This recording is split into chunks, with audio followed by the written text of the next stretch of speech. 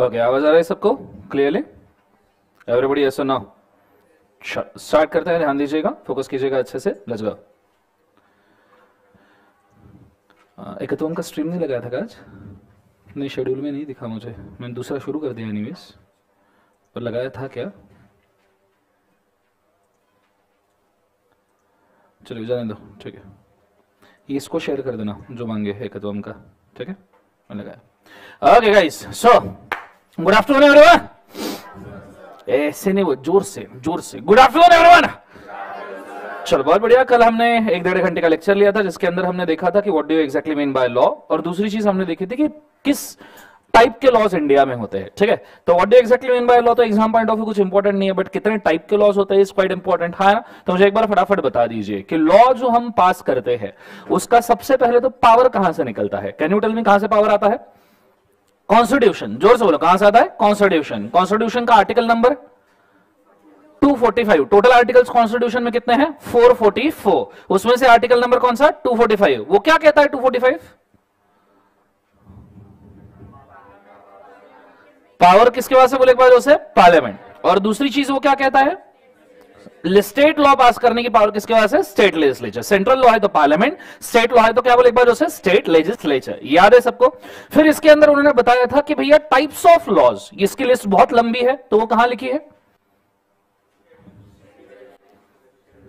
Schedule seven और वो article number कौन सा है? 246 ठीक है? कितने कैटेगरीज के लॉ है अपने पास बच्चों? थ्री कैटेगरीज पहला वाला सेंट्रल लॉ दूसरा वाला स्टेट लॉ और तीसरा वाला कॉन्करेंट सेंट्रल लॉ के अंदर कितने सब्जेक्ट्स है? 97 स्टेट लॉ के अंदर 66 और कॉन्करेंट लॉ के अंदर 47 ठीक है? ओके यहाँ तक हमारा कल हुआ था। ठीक है? अब कुछ दो तीन टिप मैं आपको देना चाहूँगा। आज कौन नए आए हैं जो कल नहीं थे? एक बार हाथ रेस कर लीजिएगा प्लीज़ ओके तीन.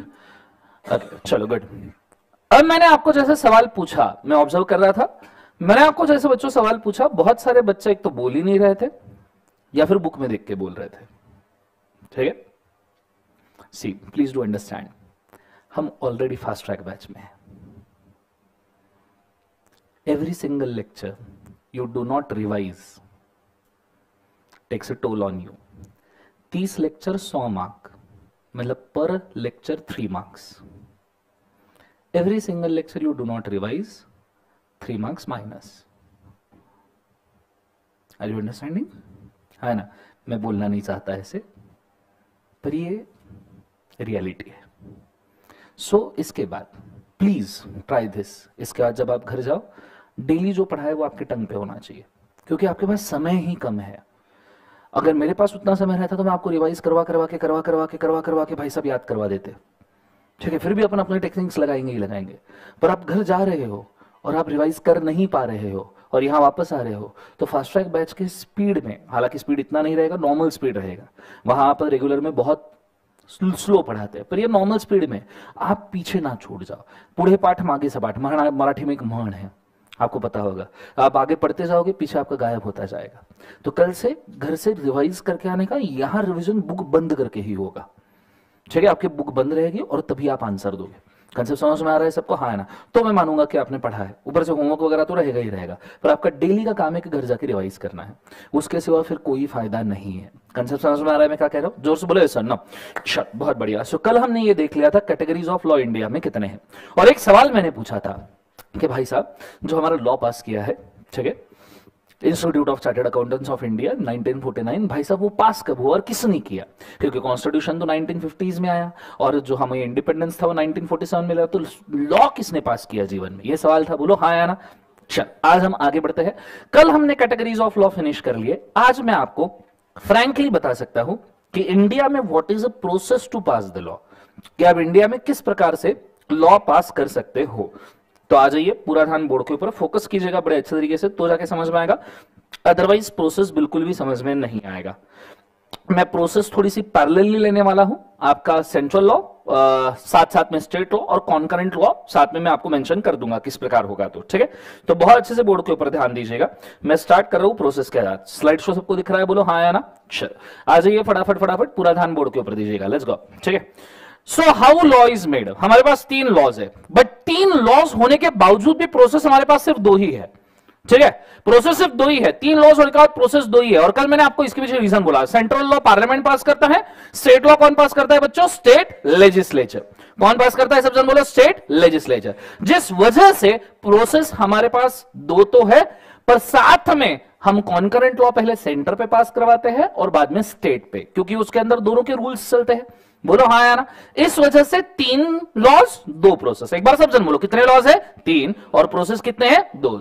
कंसेप्ट समझ में नाउ ये दो प्रोसेस में पहला है सेंट्रल प्रोसेस दूसरा है स्टेट प्रोसेस मतलब पूरे इंडिया का एक प्रोसेस ठीक है? जैसे आप देख रहे हो। और फिर स्टेट का अलग अलग प्रोसेस हर एक स्टेट का अपना अपना प्रोसेस हो सकता है। वैसे how many states and union territories are there in India 29 states and seven union territories समझ में आ रहा है? टोटल टू 36 ये सो ना सो ये चीज़ को आपने याद रखना now let start the process कोई भी लॉ पास करने के पहले, कोई भी लॉ शुरू करने के पहले the first and primary step which comes is called as drafting law किसी ने तुम्हें ड्राफ्ट करना ज़रूरी है। लॉ किसी ने तुम्हें लिखना ज़रूरी है। क्योंकि लॉ अगर किसी ने लिखा ही नहीं तो आप पास क्या करोगे? लिखने वाला भी एक्सपर्ट बंदा होना चाहिए, उसको एक्सपीरियंस होना चाहिए, उसको समझ में आना चाहिए कि किस प्रकार इंडिया चलता है पॉलिटिकल सिस्टम किस प्रकार चलता है। ठीक है? So first step in every law state रहे सेंटर रहे कॉन्करेंट रहे, एक सिंगल स्टेप आपको बहुत ज़रूरी है। दैट इज़ कॉल्ड उसे ड्राफ्टिंग जो हम ड्राफ्ट करते हैं, उसे बिल कहा जाता है। क्या कहा जाता है? बोले एक बार उसे बिल सवाल यह है, कौन कर सकता है ड्राफ्टिंग क्या आप ड्राफ्टिंग कर सकते हो लॉ का? हाँ या ना? नो सर यस सर आप कर सकते हो ड्राफ्टिंग ज़ोर से बोलो हाँ या ना? मैं कर सकता हूँ drafting you will be surprise to hear that आप भी ड्राफ्टिंग कर सकते हो, मैं भी ड्राफ्टिंग कर सकता हूँ। ये बात अलग है, कोई अपनी सुनेगा नहीं। ठीक है? बट आपको कोई पॉलिटिकल पावर की ज़रूरत नहीं है लॉ ड्राफ्ट करने के लिए। डो नो आरटीआई जिसके अंदर आंसर शीट मंगवा सकते हैं इंस्टीट्यूट से, दस रुपए देके। बोलो हाँ या ना? आरटीआई पता है राइट टू इंफॉर्मेशन है। आपको पता है किसने बनाया? Chief minister of Delhi Arvind Kejriwal ने लॉ बनाया। अरविंद केजरीवाल जी ने लॉ बनाया था when he was not even a chief minister और वो भी अन्ना हजारे का जो अनशन हुआ था, याद तुम्हारे बचपन में? बोलो हाँ ना? और तुम्हें समझ नहीं आ रहा तो अनशन क्या होता है जीवन में? तो फिर घर वालों ने बोला, इसने खाना ही नहीं खाया। तो तुम भी डिसाइड किया कि अच्छा तरीका है घर वालों को ब्लैकमेल करने का। बोलो हाँ है ना? तो अन्ना हजारे जी ने जो अनशन किया था, उसके भी पहले अरविंद केजरीवाल जी ने आरटीआई बनाया। पर आरटीआई से कुछ काम हुआ नहीं, क्योंकि आरटीआई बनाया गया था भैया, लोग घूस घूस खाते उसको रिवील करने के लिए। उससे कुछ हुआ नहीं, फिर उन्होंने अन्ना हजारे को पकड़ा, बोले, तुम अनशन करो, मैं लॉ बनाता। तो उन्होंने लोकपाल बिल बनवाया, ठीक है करप्शन के खिलाफ, ठीक है? तो ये अरविंद केजरीवाल जी ने तब किया है, जब वो कुछ थे भी नहीं जो वो सिर्फ़ एक आई ऑफिसर थे, ठीक है? उसको कोई पॉलिटिकल पावर नहीं लगता है जीवन में। समझ में आ रहा है सबको? हाँ है ना? ये तब भी। तो आप भी बना सकते हो, मैं भी बना सकता हूँ। पर हमारी बात कोई सुनेगा नहीं, क्योंकि हमारे पास उतना पॉलिटिकल स्ट्रेंथ नहीं है। दूसरा, हमारे पास अन्ना हजारी जी नहीं है। कंसेप्ट समझ में आ रहा है सबको? हाँ है ना? दो में से एक चाहिए। क्लियर है कंसेप्ट सबको? Yes no so drafting is the first step second step introduction आपको इस लॉ को लेके जाना पड़ेगा उस हाउस में जहाँ पे ये पास करवाना है। ठीक है? तो हम पार्लियामेंट में लेके जाएँगे और स्टेट लेजिस्लेचर पार्लियामेंट पता है सबको? पार्लियामेंट पता है नहीं पता है? पार्लियामेंट वहाँ पे झगड़े वगड़े करते हैं लोग। चेयर वेयर फेंक के मारते हैं, माइक वाइक फेंक के मारते हैं। बोलो हाँ यार, पार्लियामेंट जहाँ पे ऐसे नोटों के बंडल निकाल के दिखाए जाते देखो हमको घूस दिया। ठीक है? पार्लियामेंट जहाँ पे पप्पू जी सोते हैं। सो पार्लियामेंट जहाँ पे लोग मोबाइल के ऊपर कैसे कैसे वीडियो देखते हैं। हे राम। ठीक है? दिस इज़ पार्लियामेंट यहाँ अपना लॉ पास होता है। जो वेबसाइट बैन करके रखी है, वही वो खुद खोल के देख रहे हैं। Can you just imagine clear है सर और उसके बाद में पार्लियामेंट मतलब क्या ही बोलने अब जीवन में? ठीक है? Unfortunately we are govern by these people ठीक है? इसमें कुछ अच्छे हैं ऑफ़ कोर्स बस उसी के भरोसे पे देश चल रहा है। ठीक है? नहीं तो बाकी तो सब गधे घोड़े भरे हुए हैं। So this is the parliament unfortunately और ये पार्लियामेंट पे आपका लॉ प्रेजेंट किया जाता है। अगर सेंट्रल है और स्टेट लॉ है तो it is presented as state legislature समझ में आ रहा है पक्का? हाँ है ना? यहाँ पे इन लॉज का फ़र्स्ट रीडिंग होता है। क्या होता है बोले बात उसे फ़र्स्ट रीडिंग और इस फ़र्स्ट रीडिंग के जिसने लॉ बनाया, वो आता है और पूरा लॉ पढ़ता है। उसमें से आधे लोग सोते हैं, बचे हुए वॉकआउट करके भाग जाते हैं। उसमें से बचे हुए, वहाँ से इसलिए बैठे रहते हैं क्योंकि पार्लियामेंट का नाश्ता और खाना बहुत सस्ता मिलता है। वो भी फाइव स्टार लेवल का। समझ में आ रहा है? आपको पता है पार्लियामेंट के रेट्स का है? चालीस रुपए में खाना फाइव स्टार लेवल का। दस रुपए में नाश्ता फाइव स्टार लेवल का। Have you ever heard about this ये हमारा टैक्स पे किया हुआ मनी है। ठीक है, जिसका नाश्ता और खाना बांटा जा रहा है उधर। और वो भी पसंद नहीं आया तो भी वॉकआउट करते हैं नालायक लोग। समझ में आ रहा है सबको? हाँ ना। So this is what is a parliament so parliament पे यहाँ फ़र्स्ट रीडिंग होगा। जिनको समझेगा, सुनेगा, जिनको नहीं समझ में आएगा, सोएगा whatever they wish for ठीक है? फिर इन लोगों से, ये पार्लियामेंट्री लोगों से नॉट सिर्फ़ इनसे, उस एरिया के पूरे लोगों से नॉर्मल जनता जनता से उस लॉ के ऊपर कमेंट्स लिए जाते हैं। जैसे आपने शायद सुना होगा Institute of Chartered Accountants of India का भी सिलेबस चेंज हो रहा है। बोलो हाँ है ना? ये लॉ पब्लिक कमेंट्स के लिए ओपन है। तुम भी इसके ऊपर कमेंट्स कर सकते हो कि नहीं, मेरे को ये सब्जेक्ट पसंद नहीं आया, इसको मत रखो। ऐसा तुम कमेंट करोगे तो आठों के लिए करोगे, बात अलग है। समझ में आ रहा है सबको? हाल हो गया कि मेरे को ये एंट्री पसंद नहीं है इस टेप को उड़ा ही दो। नेक्स्ट वाला बोले, ऐसा ना। तो तुम भी कमेंट कर सकते हो, पर तुम तो कुछ भी कमेंट कर सकते हो। और लोग तो पागल है ना, किधर क्या कमेंट करना समझ में नहीं आता। हाँ है ना? इधर मोटिवेशनल वीडियो चल रहा है, संदीप माहेश्वरी का, उसके नीचे सोनम गुप्ता बेवफा है। बोलो हाँ आया ना? या फिर विनोद, वो बीच में आया था ना ट्रेंड यस नो सो भाई कमेंट्स पब्लिक का इनपुट आता है बट पब्लिक कुछ भी इनपुट दे सकता है। पब्लिक का भरोसा नहीं पब्लिक पागल है। तो इनपुट इनपुट्स को फ़िल्टर करना पड़ता है, और जो काम के कमेंट्स है, उनके ऊपर सोचा जाना चाहिए। हो सकता है एक कंस्ट्रक्टिव क्रिटिसिज्म आए। देखो कंस्ट्रक्टिव क्रिटिसिज्म से किसी को दिक्कत नहीं रहती। दिक्कत होती है उसके बोलने के तरीके से कि आप किस प्रकार कंस्ट्रक्टिव क्रिटिसिज्म देते हो, ठीक है? So this is sophisticated way आप कभी भी लाइफ में देखना, आपको अगर कभी भी दूसरे को कुछ बोलना है ना, सामने वाले ने गलत किया तो कभी भी एकदम गुस्से में बोलो, बात अलग हो जाती है और बिठा के समझा के चाय पिला के सुट्टा सुट्टा नहीं सॉरी चाय पिला के उसको प्यार से बोलो, बात अलग होती है। कंसेप्ट समझ में आ रहा है? वो उसको पॉजिटिव वे मिलेगा लेगा ठीक है? तो किसी को कुछ बोलते हो, वो गलत नहीं है, ठीक है? It's not you it's me ये बोलने में कोई दिक्कत नहीं है। बट ये बिठा के बोलना ज़रूरी है, समझ में आया? सबको आया ना? सो कंस्ट्रक्टिव क्रिटिज्म और उसके लिए हम बिठाते हैं कमिटीज किसको बिठाते बोले, एक बार committee. Committees are the people जो उस एरिया के धुरंधर होते हैं, मास्टर होते हैं। उन्होंने उस एरिया में कई सालों तक काम किया होता है। उनको पता होता है कि लॉ के ड्रॉबैक्स क्या है, लॉ की अच्छाइया क्या है। ठीक है? और इन कमिटीज को प्रस्तावित करके हम सभी कमेंट्स को फ़िल्टर करते हैं और जिन कमेंट्स के ऊपर सोचा जाना चाहिए, उनके प्रैक्टिकल इंप्लीकेशन सोचते हैं और लॉ के अंदर चेंजेस करते हैं। ओरिजिनल जो हमारा पहला ड्राफ्ट बना उसके अंदर चेंजेस कमिटी करवाती है। इन कमिटीज को कहा जाता है स्टैंडिंग कमिटीज। कहा जाता है? सब जन बोले एक बार स्टैंडिंग कमेटी अब इसके अंदर थोड़ा सा ज्ञान प्रदर्शन करूँगा क्योंकि बहुत ज़रूरी है ये चीज़ ठीक है? जो सबसे पहला क्या हो गया इसको? वेरी स्कोलावरी लैपटॉप बंद हो गया? नहीं। ओके माय मिस्टेक सॉरी हाँ। सो so, इसके ऊपर थोड़ा सा ज्ञान प्रदर्शन होगा बहुत अच्छे से सुनिएगा। जो सबसे पहला आपको दिख रहा है डायग्राम, ठीक है?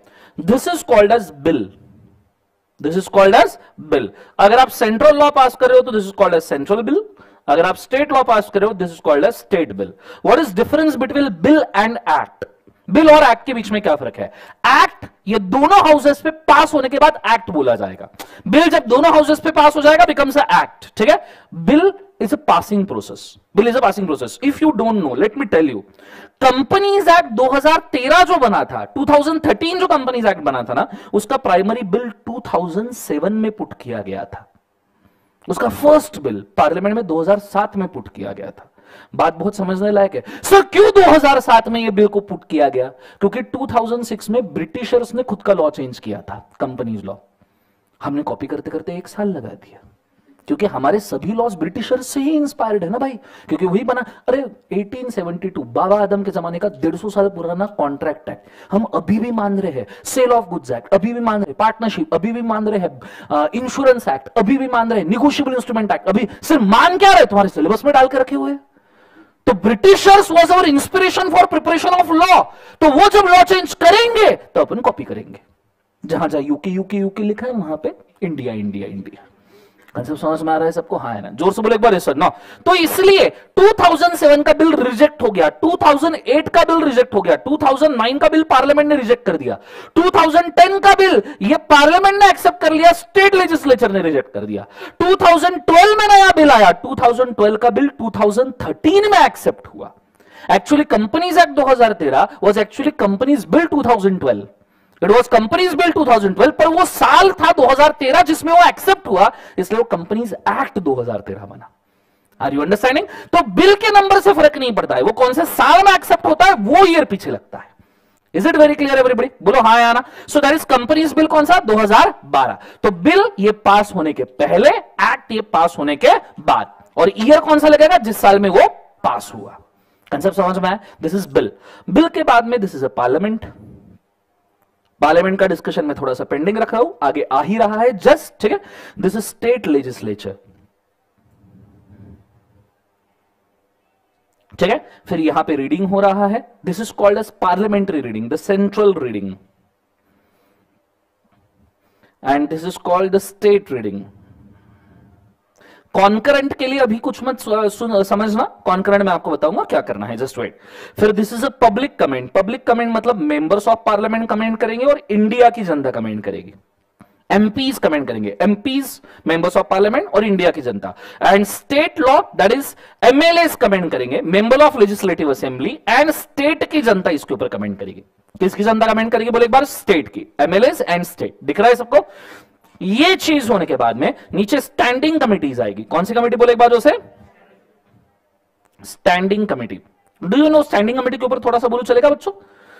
आपको पता है कंपनीज़ एक्ट 2010 अब कंपनीज़ एक्ट अपना मेन है, इसलिए मैं उसी के डिस्कशन ले रहा हूँ। बाकी सबके मैं अवॉइड कर रहा हूँ जानबूझ के because companies act is our important companies act बनाने के लिए तीन कमिटीज की प्रस्थापना की गई थी। थ्री कमिटीज वेर देर सबसे पहले कमेटी का नाम था K M B the Kumar Mangalam Birla committee do know Kumar Mangalam Birla the richest chartered accountant of the world because chartered accountant India का ही है ठीक है? But he is the richest chartered accountant of India also क्योंकि उसने CA complete किया after that he is a business tycoon और उसके पास वेल्थ की कोई कमी नहीं है। कुमार मंगलम बिरला। उसकी कमेटी बनाई गई थी। ठीक है? कुमार मंगलम बिरला की। और उस कमेटी के थ्रू उन्होंने गवर्न किया, किस प्रकार लॉ बनना चाहिए? कंपनीज़ एक्ट दूसरी, सुन के अचरज होगा Narayana Murthy committee Narayana Murthy the chairman of Infosys and the founder of the Infosys उनकी कमेटी थी। तीसरा नाम आपने सुना नहीं होगा that is sir J J Irani committee Irani committee is a kind of Farsi investor he was basically Farsi investor like Shapoor ji Pallon ji ठीक है और उनके बहुत सारे कंपनीज़ में इन्वेस्टमेंट्स थे and he was at the very good position of board of directors in different companies तो उनको भी गवर्न करने के लिए ला लिया गया कि भैया आप भी बताइए कंपनीज़ एक्ट बनना कैसे चाहिए। सो so, ये हेड थे उस कमेटी के जैसे Kumar Mangalam Birla is a head committee के अंदर 20-25 लोग रहेंगे but he is a head तो उनके नाम से गवर्न होती है कमेटी कंसेप्ट समझ में आ रहा है सबको? हाँ ना? ज़ोर से बोलो सर ना ऐसी तीन कमिटीज बनाई सिर्फ़ कंपनीज़ एक्ट एक बनाने के लिए। क्लियर है कंसेप्ट सबको हाँ है ना? इसी प्रकार आपकी स्टेट कमिटीज भी बनती है, पर नॉर्मली स्टेट कमिटीज ये स्टेट प्रॉब्लम्स के लिए बनाई जाती है, जैसे गुटखा बैन जुबा केसरी उसके लिए उसके हिसाब से कमिटी उसके अंदर वो कैंसर के अगेंस्ट फाइट करने वाले लोग ह्यूमन राइट्स वाले लोग, ऐसे अलग अलग ऑर्गेनाइजेशंस के लोग हो सकते हैं। So this is just a half of what we are doing this just half of what we are searching for कि अब हमने लॉ पास करने लायक बनाया अभी तक पास नहीं हुआ है। अभी हमने लॉ पास करने लायक बनाया है। इसके बाद में अब लॉ वापस से जाता है पार्लियामेंट पे। क्योंकि अभी कमेटी ने फ़िल्टर कर दिया नाउ पासिंग प्रोसेस स्टार्ट्स और पार्लियामेंट के दो हाउसेस होते हैं, लोकसभा, राज्यसभा। और स्टेट लेजिस्लेचर के दो हाउसेस होते हैं, विधानसभा, विधान परिषद। बचपन में हिस्ट्री सब्जेक्ट सुना था? वो तो सुना ही होगा, पढ़ा तो होगा नहीं। उसके साथ में एक पतली सी बुक आती थी। सिविक्स वो बड़ा मज़ेदार था, क्योंकि उसमें फ़ोटोज़ आते थे सर बुक के अंदर। है ना? मज़ा हो फ़ोटोज़ फ़ोटोज़ देखे। ओ, बढ़िया बुक है पर उसके अंदर का ज्ञान अंदर नहीं जाता था।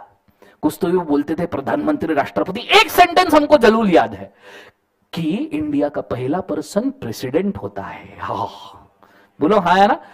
ये जितना ज्ञान मैं तुम्हें बांट रहा हूँ ना, वो सिविक्स की बुक का है। ठीक है? अब मैं वापस से थोड़ी सिविक्स की बुक यहाँ पे थोड़े बड़े पैमाने पे खोलूँगा बिकॉज़ मैं आपको एक चीज़ मेंशन करना चाहूँगा। सिंपली ये डिस्कशन अब मैं शुरू कर रहा हूँ। ये डिस्कशन के बाद तुम तुम्हारे पप्पा के साथ बैठ सकते हो और इंडिया की पॉलिटिकल सिस्टम के ऊपर कमेंट कर सकते हो।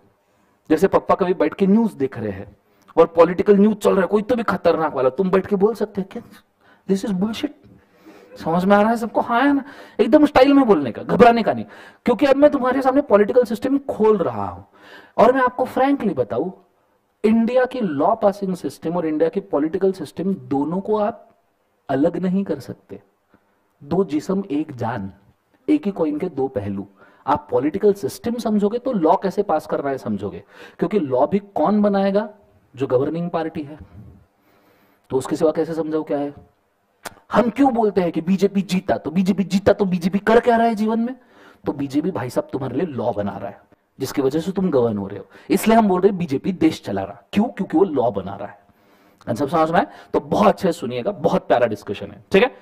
पहले तो आप ये समझ जाइए पार्लियामेंट के दो houses Lok Sabha, Rajya Sabha state legislature के दो houses state legislative assembly state legislative council ठीक है? बहुत सारे बच्चों को इंग्लिश के नाम ही नहीं पता होते Lok Sabha house of people Rajya Sabha house of state council Vidhan Sabha state legislative assembly, Vidhan Parishad, state legislative council. Sir, पहले तो जीवन में यह बताओ, ये ये state legislative assembly, Lok Sabha, house of, इसमें बैठता कौन है? हमको कैसे पता चलेगा कौन सा कौन सा वाला है? सिंपल बात, बहुत सिंपल। जहाँ पे मोदी जी बैठते हैं।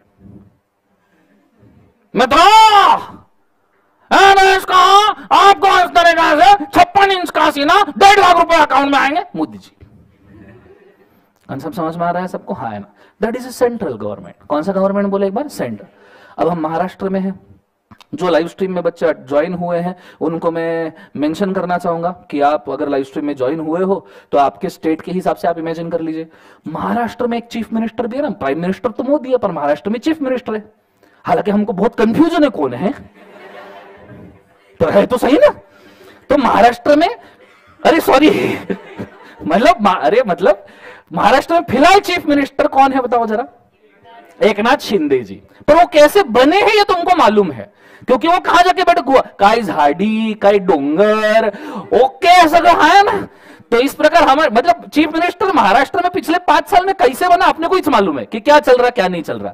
ठीक है? सो सिंपली अगर मैं बात करूँ तो चीफ मिनिस्टर जहाँ बैठते हैं that is a state legislature prime minister जहाँ बैठते हैं that is a parliament clear है आंसर 2019 में आपने जो मोदी जी वाले इलेक्शन देखे थे, जिसमें मोदी जी चुन के आए prime minister that was a parliamentary election जिसमें हमने एमपी चुने. The members of parliament makes the prime minister members of parliament मिलकर प्राइम मिनिस्टर बनाते हैं. मेंबर्स ऑफ़ पार्लियामेंट को हम प्यार से हिंदी में खासदार बोलते हैं गाइस क्या कहते हैं बोले बाजू से? खासदार. कंसेप्ट समझ में आ रहा है सबको? हाँ है ना? और जो हमने 2020 में इमीडिएटली इलेक्शन लिया, जिसमें मैक्सिमम सीट बीजेपी की आई थी, पर बाद में शिवसेना, राष्ट्रवादी, कांग्रेस, बच्चे कुछ सब मिलकर महाशिव आघाड़ी। बोलो हाँ या ना? तो उसको महाशिव पिछाड़ी बोल देना चाहिए था, जी बट जो भी है। ठीक है? So that is MLA member of legislative assembly जिनको हम प्यार से आमदार कहते हैं, जिनको विधायक भी कहा जाता है, चिचा विधायक है हमारे। कंसेप्ट समझ में आ रहा है, सबको हाँ है ना तो ये अलग स्ट्रक्चर है। यहाँ तक आइडिया क्लियर है, मैं क्या कह रहा हूँ? अब इसके अंदर उतरते हैं, ठीक है? थोड़ा सा बोर्ड के ऊपर ध्यान दीजिएगा, अच्छे से, ठीक है? मैं ज़्यादा डिटेल डिस्कशन इसलिए ले रहा हूँ, क्योंकि आपकी लॉ पास करने की प्रोसेस और आगे आने वाले बीस तीस लेक्चर के डिस्कशन में से बहुत बार मैं इनमें से पॉइंट उठाऊँगा। ठीक है? तो बहुत अच्छे से ध्यान देना। सो पार्लियामेंट के कितने हाउसेज बच्चों, बोले एक बार? दो। पहला कौन सा, बोले एक बार? लोकसभा और दूसरा कौन सा? Rajya Sabha. So this is Lok Sabha. Green colour में मैंने जो दिया है दैट इज़ कौन सा, बोले एक बार जो लोकसभा। इसको कहा जाता है? प्यार से मैं इंग्लिश वाले ही नाम लिखूँगा सिर्फ़ हाउस ऑफ़ पीपल ज़ोर से बोलो, क्या कहा जाता है? हाउस ऑफ़ पीपल क्लियर इसके अंदर कौन बैठते हैं? MPs members of parliament concept समझ में now the question Rajya Sabha. Rajya Sabha को क्या कहा जाता है? हाउस ऑफ़ स्टेट काउंसिल्स ज़ोर से बोलो, क्या बोलना है? हाउस ऑफ़ स्टेट का इसके अंदर कौन बैठते हैं? Members of state council MSC members of क्या बोले स्टेट काउंसिल राज्यसभा में बैठने वाले लोग, ठीक है? फिर इधर state legislature state legislative assembly मतलब विधानसभा ठीक है स्टेट लेजिस्लेटिव असेंबली। नाम लिख के रख दू क्योंकि आपको ये वाला याद रहने से मुश, रखना मुश्किल है। State legislative assembly state legislative assembly में कौन बैठते हैं? Members of legislative assembly MLA clear है आंसर? और फिर आता है state legislative council Vidhan Parishad. Council Vidhan Parishad जिसमें कौन बैठा है? Members of legislative council MLC clear है? अब हर एक स्टेट का तो डिस्कस नहीं कर सकते। 29 स्टेट्स और सेवन यूनियन टेरिटोरीज करते करते हमारे 30 लेक्चर इसी में चल जाएँगे। तो डिस्कस जस्ट पार्लियामेंट बिकॉज़ उसका ही सिलेबस अपने सिलेबस में। तुम्हारी, तुम्हें स्टेट्स लॉस तो नहीं है। तो मेन हम पार्लियामेंट का डिस्कशन करेंगे। बहुत अच्छे से ध्यान देना। हाउस ऑफ़ पीपल में टोटल नंबर ऑफ़ लोग कितने बैठते हैं? तो हाउस ऑफ़ पीपल में टोटल नंबर ऑफ़ लोग होते हैं फाइव फोर फाइव कितने होते हैं बोले एक बार? फाइव फोर फाइव और हाउस ऑफ़ स्टेट काउंसिल में कितने लोग बैठते हैं? तो टोटल नंबर ऑफ़ लोग बैठते हैं टू फोर फाइव छोटे बच्चे को भी पूछा, छोटा शेमड़ा बच्चा, उसको भी पूछा कि भाई, अगर तेरे को गवर्नमेंट बनानी है तो इसमें से तुमको कितने लगने चाहिए? Four five five four five में से कितने लगने चाहिए? अगर एक गवर्नमेंट बनानी है तो। कंपनी में भी वट किसका चलता है? जिसके हाथ में मेजोरिटी स्टेक रहता है तो तुमको इसमें से कितने लगेंगे? मेजोरिटी ज़ोर से बोलो, कितने लगेंगे? मेजोरिटी तो कितने लगने चाहिए? बोले एक बाजू से 273 this 273 this 273 star star star star star this a magic number पूछो क्यों? क्योंकि यही नंबर ज़रूरी है गवर्नमेंट बनाने के लिए, और यही नंबर ज़रूरी है लॉ बनाने के लिए भी। ठीक है? आपको यही नंबर लगेगा गवर्नमेंट बनाने के लिए, यही नंबर लगेगा लॉ बनाने के लिए। अगर एमपीज 545 एमपीज में से 545 एमपीज में से अगर तुम्हारे एमपीज 273 एंड अबाउ है तो तुम्हारी सरकार है। क्यों? अब देखना, इसलिए मैं मेंशन करूँगा, आपने 2014 के जो इलेक्शंस देखे थे, उसके अंदर बीजेपी के near to BJP plus allied parties BJP plus allied parties इनके टोटल जो सीट्स आए थे दोज वर 305 के आसपास। 2014 के इलेक्शन में, जब मोदी जी पहली बार प्राइम मिनिस्टर बने थे। बीजेपी प्लस अलाइड पार्टी आपको पता है बीजेपी प्लस अलाइड पार्टीज़ को कहा जाता है NDA sir national defence academy नालायक।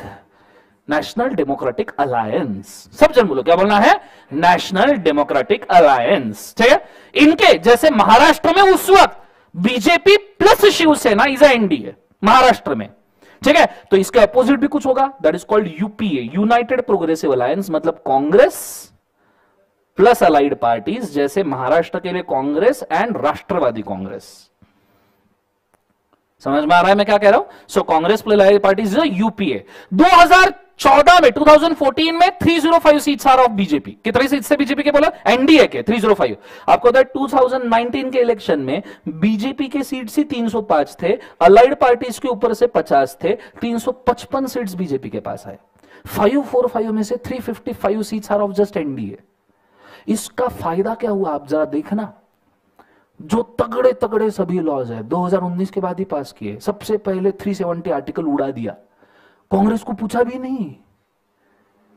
वोट के लिए किसी ने हाथ भी ऊपर नहीं किया। प्रेसिडेंट ने पूछा 370 उड़ाने के? इन्होंने टेबल बजाया, उड़ गया। टाटा बाय बाय गया। समझ में आ रहा है सबको? हाँ है ना? उड़ गया वो। उसके बाद में वो सीए लाया citizenship amendment bill that was a very good master stroke if you don't know citizenship amendment bill बोलता क्या है? बहुत सिंपल सी चीज़ बोलता है कि तुम्हारे घर में दस लोग हैं तो दस लोगों का राशन आएगा। इमेजिन करो, तुम्हारे घर में दस लोग हैं और दो लोग चोरी से रह रहे जो तुम्हें ही नहीं पता। तो तुम्हारा राशन का बजट तो खत्म हो जाएगा। क्योंकि बारह लोग खाना खा रहे हैं। हमें कैसे पता चलेगा कितना राशन लग रहा है, कितना जीडीपी लग रहा है, कितना प्रोडक्ट लग रहा है? इस प्रकार सिटीजनशिप अमेंडमेंट बिल ये बोलता था कि भैया इंडिया के सिटीजन कौन है पहले वो बताओ। हम उस हिसाब से रिसोर्स अलोकेशन करेंगे। समझ में आ रहा है सबको? हाँ ना? तो जितने भी परराष्ट्रवासी यहाँ पे आके एडवांटेज उठा रहे उनको हम सेग्रेट हम उनको हकाल नहीं रहे। हम उनको सेपरेट करें। हमें पता तो चले गेस्ट कितने हैं। कभी तो जाना पड़ेगा ना? अतिथि अतिथि होता है पर कितने दिन। समझ में आ रहा है सबको? हाँ है ना? तो ये चीज़ को आपने बड़े अच्छे से याद रखना। दैट इज़ सिटीजनशिप फिर उसके बाद में जोश जोश में आके मोदी जी ने चार कृषि कानून भी पास कर दिए। फिर उसके ऊपर वो बहुत बड़े तो उनको वापस भी लेने पड़े, सॉरी भी बोलना पड़ा। क्योंकि एक बहुत मतलब बहुत जोश में आ गया ना थ्री सेवेंटी हो गया सीए हो गया, ये भी कर डालते अरे नहीं सॉरी गलती हो गई। तो वापस ले लिए। ठीक है? अभी आगे उनका सिटीजनशिप अमेंडमेंट बिल आने वाला है। ठीक है? वन सिंगल लॉ फॉर वो कौन सा लॉ है? One single citizen one single right नए नए नए लॉज इंट्रोड्यूस कर रहे हैं। और आपको बता दूँ 2020 में जो ये इलेक्शन के बाद पार्लियामेंट्री सेशन हुआ था ना पूरे 70 साल की हिस्ट्री में 75 इयर्स ऑफ़ हिस्ट्री में that was the most efficient session of the parliament normally parliament 60 percent efficiency के ऊपर चलता है, उस सेशन में 125 परसेंट इफिशियंसी मतलब लॉ ढूंढ के लाने पड़ रहे थे साला कौन सा पास करो। समझ में आ रहा है मैं क्या कह रहा हूँ? ये फ़ायदा होता है जब एक ही पार्टी के लोग होते तुम सोचो ना 545 में से 355 यही है। क्लियर है? वो बच्चा वो कुछ अपोजिशन कोने में पड़ा है। उसकी तरफ़ स्पीकर देख भी दे रहा। वहाँ पास करने का इधर देख रहा, हो गया? चलो आगे। वो बोल रहे, अरे, हमारे तरफ़ तो देखो। तुम बाजू इधर पहले। हाँ। समझ में? This is the efficiency concept समझ में आ रहा है ये फ़ायदा होता है अगर आपके सभी मेंबर्स आपके हैं तो नियरली क्लियर है कंसेप्ट तुम तगड़े लॉस पास कर सकते हो, ठीक है? पर बहुत जोश में आना भी गलत है, ठीक है? नीचे। सो ये हो गया 273 273 लोगों ने अगर आपके लॉ को हाँ बोल दिया, आपका लॉ पास हो गया। नीचे चलिए 245 में से 123 इज़ अ मेजोरिटी बोलो हाँ या ना? 123 ने पास कर दिया, आपका लॉ हो गया। 273 एंड 123 दो जगह पे, दो हाउसेस में इतने वोट्स मिले law is made now only question is लगाना कब से? बन गया है। पर लगानी कब से। बॉम्ब बन के रेडी है, पर फोड़ना कब से। कंसेप्ट समझ में आ रहा है? उसके लिए पूछा जाता है इंडिया के पहले पर्सन को। The president of India. Who is president of India मेरे देश के आज़ाद नाकली को। Who is president of India Draupadi Murmu. समझ में आ रहा है? I guess second lady president of India she belongs from the backward tribal category very good thing इसके पहले first lady president Pratibhatai Patil. आपको था प्रतिभाताई पाटिल मेरे गाँव से अमरावती से। मैं पर्सनली पहचानता हूँ प्रतिभाताई पाटिल को। ये बात अलग है वो मेरे को नहीं पहचानते।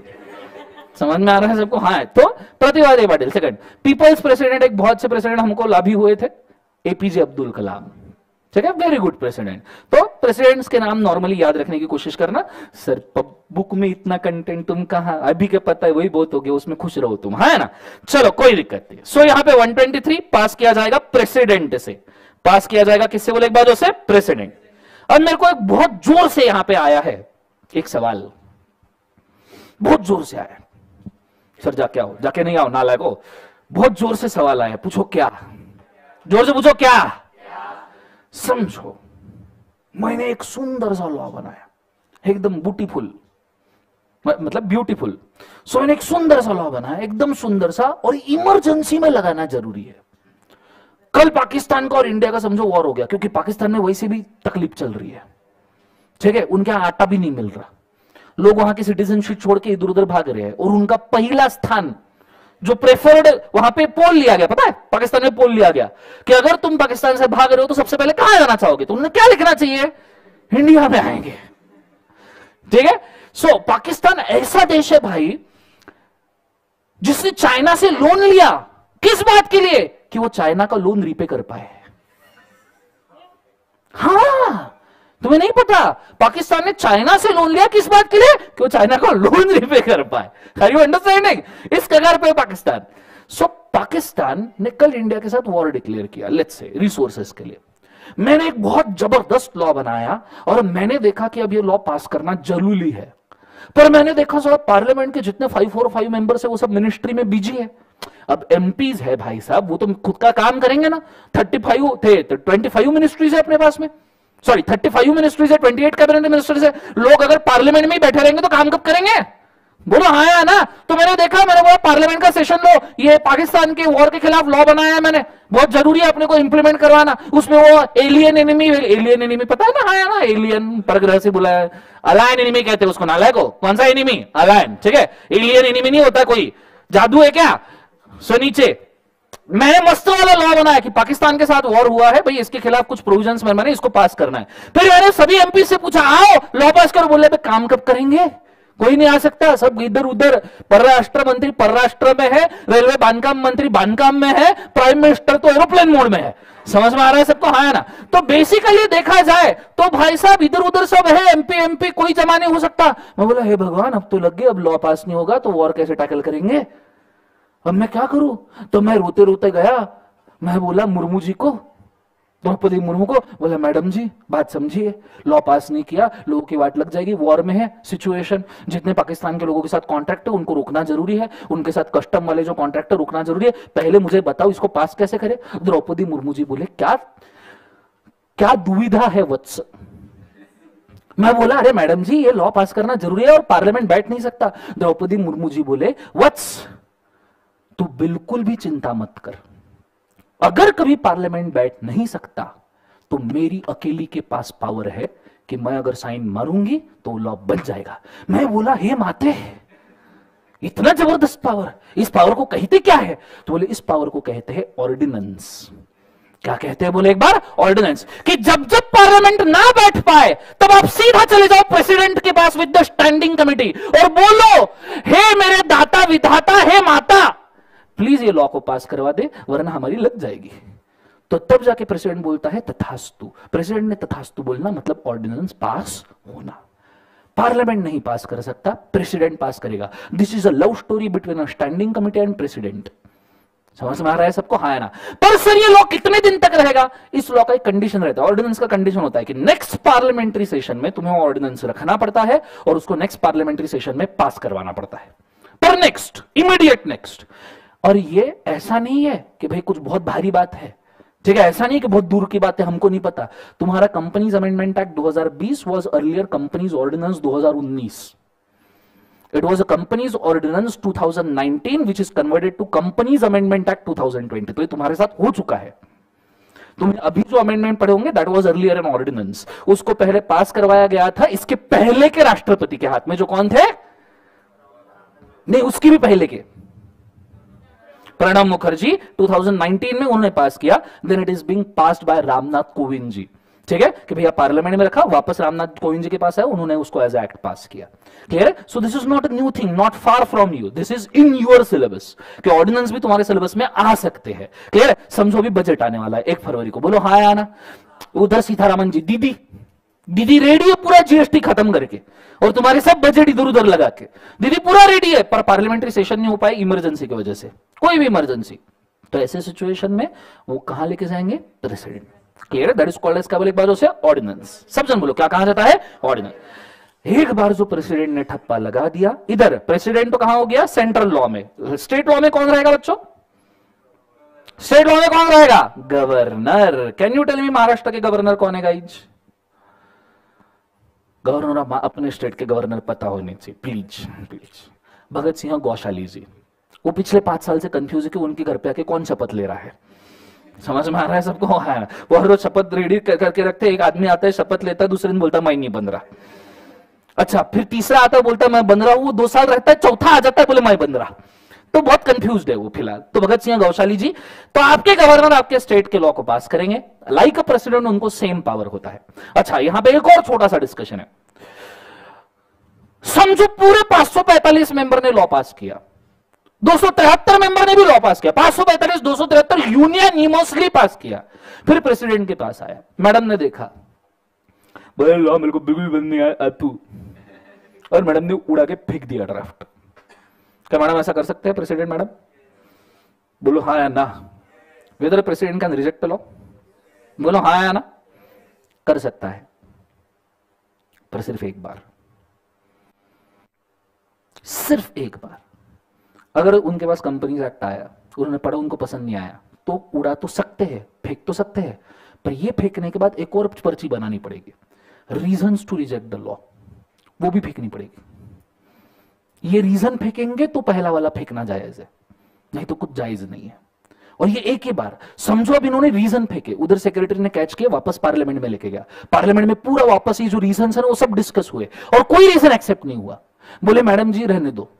कोई रीजन फीजन एक्सेप्ट नहीं, जो पहला वाला था, वही अच्छा था। जो तुमने ऊपर फेंका, वो बहुत अच्छा था। ठीक है? और वापस विदाउट इंप्लीमेंटिंग रीजन वापस से लॉ मैडम के पास आ गया। मैडम ने वापस देखा, मैडम तो बोले नहीं, मैडम जी, नहीं हो सकता चेंजेस मत बोलो। गलती से अच्छा सा लॉ बना है, कृपया पास कर दो। तो मैडम जी सेकंड टाइम उसको रिजेक्ट नहीं कर सकते, भले ही मैडम जी के रीजन तुमने सुने हो या ना सुने हो। क्लियर है? That is called veto power that is called कौन सा पावर बोले एक बार? वेटो कंसेप्ट समझ में इसको लिखवा दूँगा टेंशन लेने की ज़रूरत नहीं है। क्लियर है कंसेप्ट ये गवर्नर के पास भी होता है। गवर्नर भी स्टेट लॉ देख के बोल सकता है, गुटखा बैन हो बोलो जुआ केसरी आथू कंसेप्ट समझ में आ रहा है सबको? है ना? वो भी रिजेक्ट कर सकता है। आइडिया क्लियर है मैं क्या कह रहा हूँ? ज़ोर से बोले एक बार सुन। ना, नीचे एक बार इन दोनों का काम हो गया तो फिर काम शुरू होता है मिनिस्ट्री का। किसका काम शुरू होता है? मिनिस्ट्री यहाँ से एक्चुअली लॉ की अहमियत बढ़ जाती है।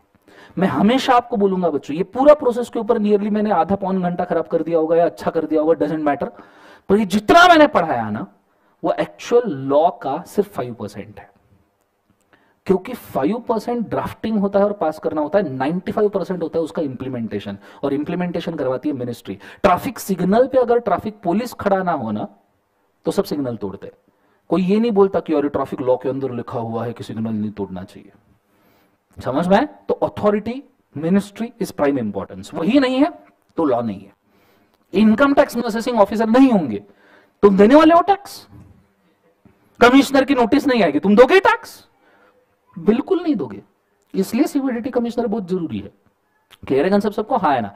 एंड दैट्स वाई हमारे यहाँ पे भाई साहब 35 मिनिस्ट्री है। एक हाथ दो कम ज़्यादा हो सकती है क्योंकि गवर्नमेंट बनाते बिगाड़ते रहता है डिपेंडिंग ऑन क्या टारगेट है। 35 मिनिस्ट्रीज के अंदर 28 मिनिस्टर्स है। सर क्या बात कर रहे हो? 35 मिनिस्ट्री और 28 मिनिस्टर मतलब सर एक मिनिस्टर एक से ज़्यादा मिनिस्टर ले सकता है? हाँ। Nirmala Sitharaman ji ministry of finance ministry of corporate affairs ministry of law and justice तीन दिन लेके बैठी, एक संभाल नहीं रहा। समझ में आ रहा मैं क्या कह रहा हूँ? ज़ोर से बोल। हाँ ना अरे तुम देखो जीएसटी के अमेंडमेंट वो अमेंडमेंट नहीं है पूरा नया जीएसटी है। आइडिया क्लियर मैं क्या कह रहा हूँ? तो ये चीज़ को आपने याद रखना। दूसरी बात, इसके पहले एक और इफिशियंट मिनिस्ट्री थे। बहुत अच्छे इफिशियंट अरुण जेटली जी। वो भाई, वो कहर आदमी था। वो चार मिनिस्ट्री हैंडल कर रहा था। वो भी कौन सी? Ministry of finance lord justice corporate affair ministry of defence are you understanding minute मतलब इन तीनों तक के समझ सकता है। डिफेंस भी? वो कैसे? तो this is a thing Maharashtra से there is one good minister जिनका मिनिस्ट्री पिछले आठ सालों से consistently productive ministry top productive ministry Nitin Gadkari बांधकाम विभाग बांधे जा रहे वो वो रुक रहा आदमी। वो तुमने अभी महाराष्ट्र में समृद्धि हाईवे बनाया देखा तुमने? समृद्धि गए कभी सम, मैं गया था अभी समृद्धि हाईवे के ऊपर। अभी 120 की स्पीड वहाँ पे नॉर्मल है ऐसा लगता है आदमी साइकिल चला रहा है। इतना प्यारा हाईवे बनाया और उसने बनाया भी कैसे? नितिन गडकरी जी ने क्या किया? मेरे को लगता है ऐसे मैप लिया महाराष्ट्र का, उधर नागपुर से लेके मुंबई के ऊपर स्केल रखा। और ऐसे मारा, रात, इसके बीच में जो भी आए फोड़ दो। वो वैसे बनाया है। सीरियसली एट लेन हाईवे तुम जाके देखो, आदमी दौड़ेगा तो दिखेगा भी नहीं। इतना खतरनाक। सो और वो बांधे जा रहा है। वो भाई, वो बोले अभी दिसंबर के बाद में उन्होंने उद्घाटन किया मुंबई दिल्ली हाईवे वो बोले मार्च तक के रेडी कर देंगे एक पट्टा उसका। फिर वो गोल्डन क्वाड्रिलेटरल के ऊपर बात कर रहा है। बोले, चार कैपिटल सिटीज़ को हम जोड़ेंगे। वो क्या पता क्या खा के आया आदमी भाई। वो वो चल रहा है। बोले गवर्नमेंट कोई भी हो, बांधूँगा मैं ही। सो बेसिकली देखा जाए तो this is how it is going अब हमारे लिए मिनिस्ट्री कौन सा काम का है? हमारे लिए काम का मिनिस्ट्री है MCA ministry of corporate affairs ये हमारे काम का मिनिस्ट्री है। क्लियर है? मिनिस्ट्री ऑफ़ कॉर्पोरेट अफेयर्स के चेयरमैन दीदी ठीक है? इनके पास काम आता है कि भाई इस लॉ को इंप्लीमेंट करे। आइडिया क्लियर है मैं क्या कह रहा हूँ? ज़ोर से बोले एक बार सर नो नेक्स्ट वाला, इस साइड स्टेट के मिनिस्ट्रीज डिफर होते हैं दिस इज़ वेरिएबल एक बार से? वेरिएबल अब याद रखना, ये मिनिस्ट्रीज ऑफिशियल गैजेट में official gazette G double ZD double TE gazette G से स्पेलिंग शुरू होता है बट उसको शॉर्ट फॉर्म में ओजेड ही कहा जाता है ओजी ठीक है? ऑफिशियल गैजेट ऑफिशियल गैजेट में तीन चीज़ें बोलते हैं। कौन से दिन से, कौन से एरिया में कितने सेक्शंस वो लॉ के आएँगे? जैसे कंपनीज़ एक्ट आया तो ये बोलेंगे कि भैया, कैसा था? सुनो, बात को सुनो। अब ऑफिशियल गैजेट भी मैं आपको दिखा दू। ये चाहिए तो थोड़ा साइड में लिख देंगे अपन, ठीक है? This is how the official gazette looks छोटी छोटी इमेजेस है बट थोड़ा सा देख लेना। This is how the official gazette का फ्रंट पेज लुक्स भारत का राज्यपत्र, महाराष्ट्र का राज्यपत्र, ऐसे हर एक स्टेट का ऑफिशियल गैजेट होगा, ठीक है? ये ऑफिशियल मैगजीन समझ लो जिसके थ्रू गवर्नमेंट डिक्लेयर करता है। गवर्नमेंट को वॉर भी डिक्लेयर करना है तो इसके अंदर लिख के डिक्लेयर करना पड़ेगा। गवर्नमेंट कोई भी लॉ बनाता है इसके अंदर लिख के, कोई अमेंडमेंट लाता है इसके अंदर लिख के। गवर्नमेंट का कोई भी ऑफिशियल डिक्लेरेशन हो, इसमें आएगा। कोई ऑफिसर भी चेंज हो रहा है, इसमें आएगा। This is official gazette clear concept सबको? हाँ है ना? ये official magazine government declare twitter is not official thing ठीक है? वो करते हैं that is different this is official thing idea clear है? मैं क्या कह रहा हूँ? ये सर नो ये चीज़ को आपने याद रखना। ऑफिशियल गैजेट में तीन चीज़ें देते हैं। पहला तो डेट कौन से दिन से, कौन से एरिया में, और कितने सेक्शंस अप्लीकेबल होंगे। कौन से दिन से कौन से एरिया में कितने सेक्शन जैसे कंपनीज़ एक्ट और प्राइम लॉ कंपनीज़ एक्ट का मैं आपको बोल सकता हूँ 12 सितंबर 2013 से कंपनीज़ एक्ट आया था। In entire of India including the state of Jammu and Kashmir and with 98 sections out of 470 के साथ इंप्लीमेंट होना शुरू हुआ था। मतलब प्राइमरी सेक्शन जो इंप्लीमेंट किए गए थे सॉरी प्राइमरी सेक्शन जो इंप्लीमेंट किए गए थे those are just 98 section out of 470 470 में से 98 सेक्शन पहले आए, फिर 183 सेक्शन दूसरे फ़ेज़ में आए और फिर पूरा ही चेंज कर दिया। एक बात आपने याद रखना, इसमें आप सीखने लायक क्या है? जब भी कोई ओल्ड लॉ आता है और कभी भी न्यू लॉ इंप्लीमेंट होता है तो ऐसा नहीं होता कि ओल्ड लॉ आके बंद हो गया और न्यू लॉ एकदम से शुरू हो गया। No it is like this old law धीरे धीरे धीरे धीरे कम होगा न्यू लॉ धीरे धीरे धीरे धीरे बढ़ेगा। तो आपने देखना कंपनीज़ एक्ट 2013 के पहले से 98 सेक्शन एकदम थोड़ा छोटू सा टोक एरो का टोक वो इंप्लीमेंट किया। फिर 183 सेक्शन फिर उसके बाद में पूरे 470 क्योंकि उत, उतने एंगल से आपको सिस्टम भी तो चेंज करनी है ना गवर्नमेंट को सिस्टम भी तो चेंज करने की ज़रूरत है। बोलो हाँ या ना एक ही लॉ ऐसा था जो ऐसा आके ऐसा लग गया जीएसटी क्योंकि ओरिजिनल एक्साइज और जीएसटी के अंदर कोई तालमेल ही नहीं था। वो सोच रहे थे कौन से निकाले कौन से हटाए तो उनको समझ में ही नहीं आया। तो वो ले गया या आया फिर लग गया फिर हम्म, हम्म। समझ में आ रहा है सबको? हाँ ना? तो ये चीज़ को आपने बड़े अच्छे से याद रखना चाहिए। आइडिया क्लियर है? So this is the official gazette ठीक है? ये चीज़ को याद रखना। मुझे एक बार बताओ वापस से मिनिस्ट्रीज कितने बोले एक बार जो थर्टी फाइव और कितने मिनिस्टर्स हैं नियरली ट्वेंटी एट ये कम ज़्यादा प्लस माइनस वन मान लेना ठीक है? So this is a law should be passed in India. Any goddamn law you take. ठीक है कॉन्ट्रैक्ट वापस से बना सेल ऑफ़ गुड्स पार्टनरशिप वापस से बना आपने जो भी लॉ पढ़ा होगा फाउंडेशन में, या आप जो लॉ पढ़ रहे हो इंटर पे negotiable instrument general clauses act ठीक है contract act repeat companies act FEMA SEBI सिकरा competition banking insurance IRDA factories minimum wages industrial dispute whatever law you take it should be passed by this system there is no other system in India to pass the law concept समझ में आया मैं क्या कह रहा हूँ? ज़ोर से बोले एक बार सर नो और ये तुम्हारे रग रग में बस जाना चाहिए। ठीक है? रग रग में बस जाना चाहिए। क्यों? सी मैं पहले दो लेक्चर बेसिक के पूरे अवॉइड भी कर सकता था straight away I would have jump to to companies act पर तुम इसके बाद जा रहे हो आर्टिकल आर्टिकलशिप ठीक है? और दूसरा अगले 20 30 लेक्चर में मुझे काम में आएगा सब चीज़ें। ठीक है? तुमने देखना, हर जगह पे तुमको समझ में आए कई सारी तुम्हारे प्रॉब्लम खत्म हो जाएँगे क्वेरी आने के पहले निपट जाएँगे, क्योंकि तुमको पता रहेगा प्रोसेस ये था। कंसेप्ट समझ में आया? और आर्टिकलशिप में जब तुम जाओगे और समझो कंपनीज़ एक्ट में कोई नया ज़बरदस्त वाला तगड़ा अमेंडमेंट आने वाला है। कंपनीज़ एक्ट छोड़ो, कहीं पर भी अमेंडमेंट आने वाला है। यू शुड नो कि भैया ये प्रोसेस से ही आएगा। This is how it should be passed तो तुम उसको फॉलो कर पाओगे प्रॉपरली लॉ आने के पहले you would have been ready कि नहीं मेरा पढ़ के हो गया है। This is what is required answer समझ में आ रहा है, सबको हाँ है ना। तो मैं चाहूँगा इसको हम लिख लेते हैं एक बार। आप एक रजिस्टर का पेज लीजिए। पेज को दो पार्ट में डिवाइड कीजिए। एक साइड सेंट्रल प्रोसेस दूसरी साइड स्टेट प्रोसेस ठीक है? कॉन्करेंट के ऊपर मैं नोट लिखवा दूँगा टेंशन लेने की ज़रूरत नहीं है। कमेंट्स नहीं आ रहे हैं और अब रहे देखो, दिख रहे कमेंट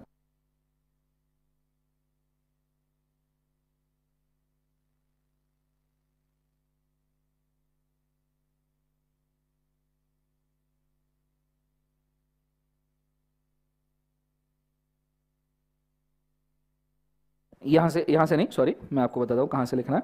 जस्ट वेट दो पार्ट कर लीजिएगा। अच्छा एक छोटा सा डिस्कशन करूँ? चलेगा? और नॉलेज पॉइंट ऑफ़ व्यू करूँ तुम बोले चलो फास्ट ट्रैक बैच है जीवन में रेगुलर से भी बेकार वाला है। सु, सुन लो एक छोटा सा डिस्कशन मैं करता हूँ। तुम्हें पता है हर इलेक्शन के वक्त ये अभी वापस से आने वाला 2024 में। Two years to go just है ना? 2024 में वापस से सेंट्रल इलेक्शन आने वाला है मोदी जी वाला। तब तो तुम इस चीज़ को टैली कर सकते हो। तुम देखना कभी भी इलेक्शन के अंदर ना जो भी पार्टीज़ है, वो उत्तर प्रदेश में जाके बैठ जाती है।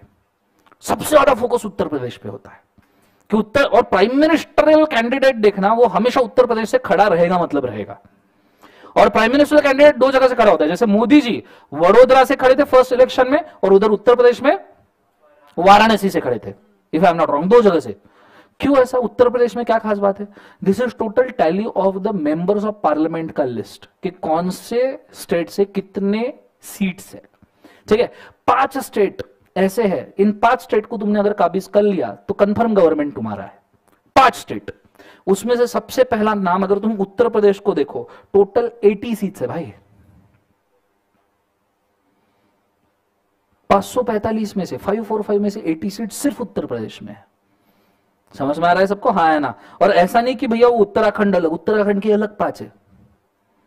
समझ में आ रहा है? तो 80 seats in the Uttar Pradesh फिर तुम टैली करते जाओ कि और कौन सा बड़ा हुआ है? उसके नीचे वेस्ट बंगाल ममता दीदी 42 सीट्स ठीक है? फिर आप उसके भी अंदर थोड़ा सा देखो 39 सीट्स के साथ इट इज़ तमिलनाडु ठीक है? फिर उसके पीछे, ये वाले लिस्ट में आ जाओ तो आप देख सकते हो बिहार 40 सीट्स देख रहा है सबको? ऐसा नो और महाराष्ट्र, जय महाराष्ट्र. 48 सीट्स ठीक है? और एक राजस्थान है if I am not wrong Rajasthan किधर गया नहीं, राजस्थान नहीं और कौन सा है?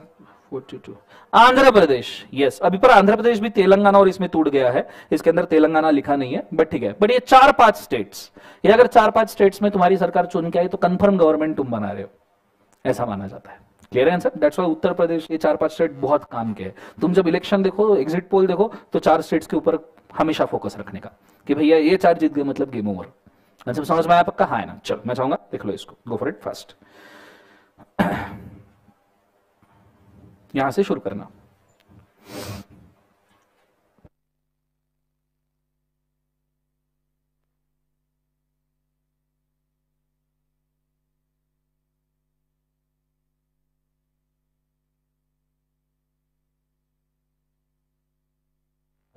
ओके लाइव स्ट्रीम में सबको समझ में आ रहा है गाइज़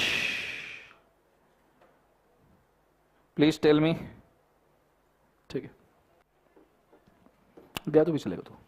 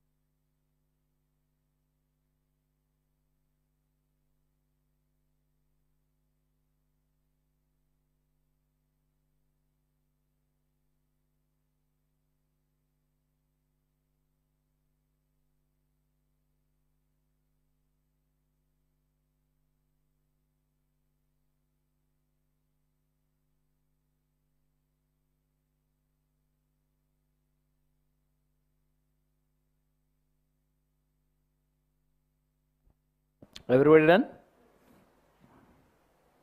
नेक्स्ट वाला स्लाइड के ऊपर मैं जा रहा हूँ। ठीक है?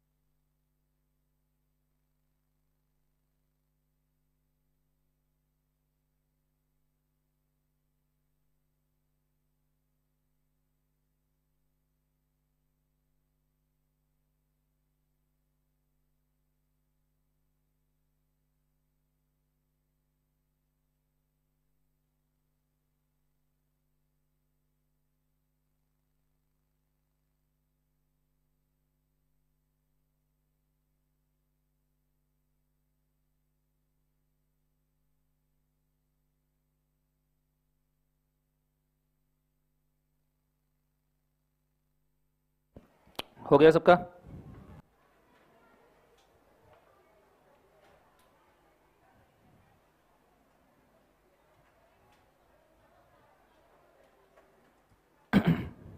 ये सुनो पक्का हो गया? चल, बहुत बढ़िया।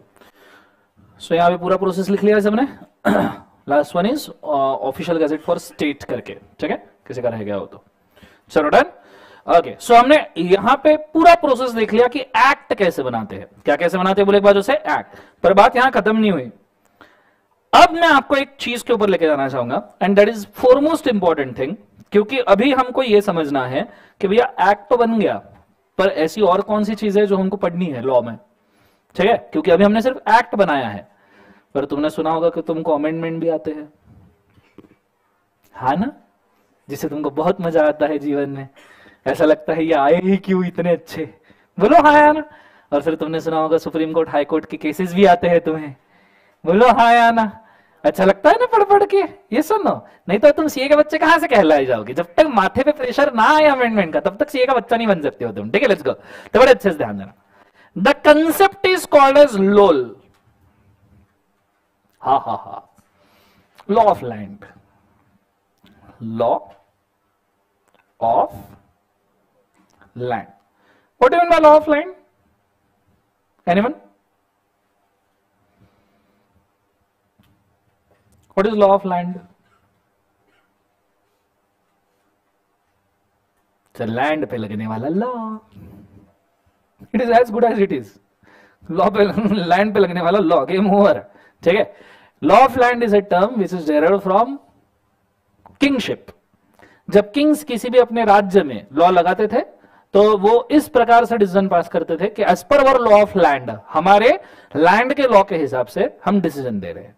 तो is called law of land law of land का इंडिया के लिए मतलब है the law which is applicable to territory of India including the state of Jammu and Kashmir plus समंदर में कितना अंदर?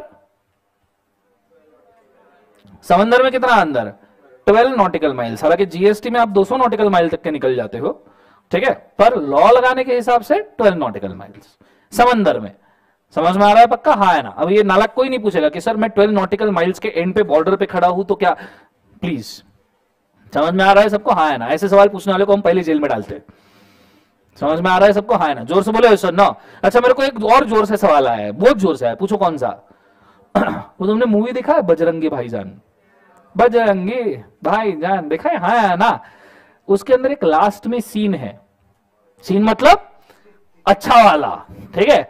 उसके अंदर लास्ट में एक सीन है जहाँ बजरंगी भाईजान इंडिया के बॉर्डर के बाहर खड़े रहते और उधर से वो बच्ची ज़ोर से चिल्लाती है, माँ माँ! पहली बार चिल्लाती है जीवन में वो, ठीक है? और फिर वो भाग के भाग के आती है, फिर बजरंगी भाईजान उसको पकड़ते हैं, ऐसे हवा में उछालते हैं, वो लड़की हवा में अटकी रहती है मूवी वही खत्म हो जाती है।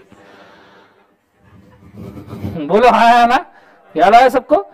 मुझे तो बजरंगी भाईजान इंडिया के बॉर्डर के बाहर है, पर पाकिस्तान के बॉर्डर के भी बाहर है। वो बीच में है ना? उनको कौन सा लॉ लगा है? उनको लगेगा लॉ ऑफ़ लैंड अपना। नो सर यस सर एक बात, ये सवाल आते कहाँ से तुमको? हर मूवी देखते वक्त मैंने देखा है, यहाँ कौन सा लॉ लगेगा यार? अब टीचर क्या और क्या सोचेगा टीचर जीवन में? हम सिग्नल पे खड़े रहते तो सोचते हैं कि सिग्नल के अंदर क्या एग्ज़ाम्पल बन सकता है। तो मेरे को दिखा हो तो दिमाग में आया तो मैं पूछ रहा हूँ, उसको कौन सा लॉ लगना चाहिए? उसको एक्चुअली कोई लॉ नहीं लगता। The area is called as no man's land it is govern by United Nations तो उसको अगर लॉ लगाने भी है तो यूनाइटेड नेशंस के। Bajrangi Bhaijaan is out of the law of the India clear है कंसेप्ट समझ में आ रहा है? सबको हाँ है ना। तो ये चीज़ को आपने याद रखना।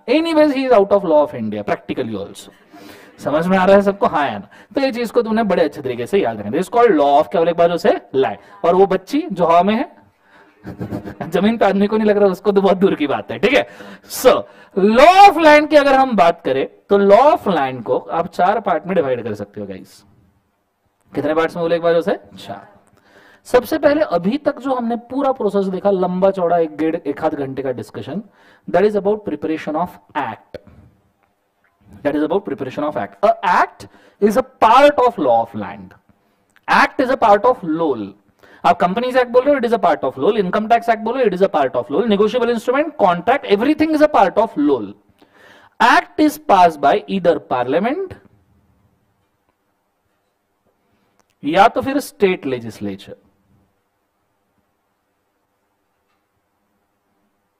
is it clear everybody बोलो हाँ है ना? अब जब तुम्हें एक्ट पास करना पॉसिबल नहीं है not possible but law is required but law is क्या बोले जो से? रिक्वायर्ड तो आप क्या बनाते हो बच्चों? You create ordinance you create क्या बोले बार उसे ऑर्डिनेंस यू क्रिएट क्या बोले बार उसे ऑर्डिनेंस इसके लिए मैं लिखना चाहूँगा पास्ट बाय प्रेसिडेंट और governor but not by houses. But need to be passed, but need to be क्या लिखा जो passed in next session. Next house session में कहूँगा। हाउस मतलब आप ले लो कोई भी हाउस पार्लियामेंट्री हाउस या state legislature house house session this is called as का बाजू से ordinance ordinance is a love story between a standing committee and a president ठीक है, हमने देख लिया। चलो, अगर इन दोनों में भी कंफ्यूजन है there is still a problem और कंफ्यूजन प्रॉब्लम और क्या लिखा से कंफ्यूजन तो आप किसके पास जाते हो? तो you normally go to department you normally go to क्या लिखा जो है डिपार्टमेंट कि भैया प्रोसेस समझ में नहीं आ रहा, बताओ क्या करे। भैया, तुमने ये वर्ड लिखा है वर्ड ही समझ में नहीं आ रहा, बताओ क्या करे।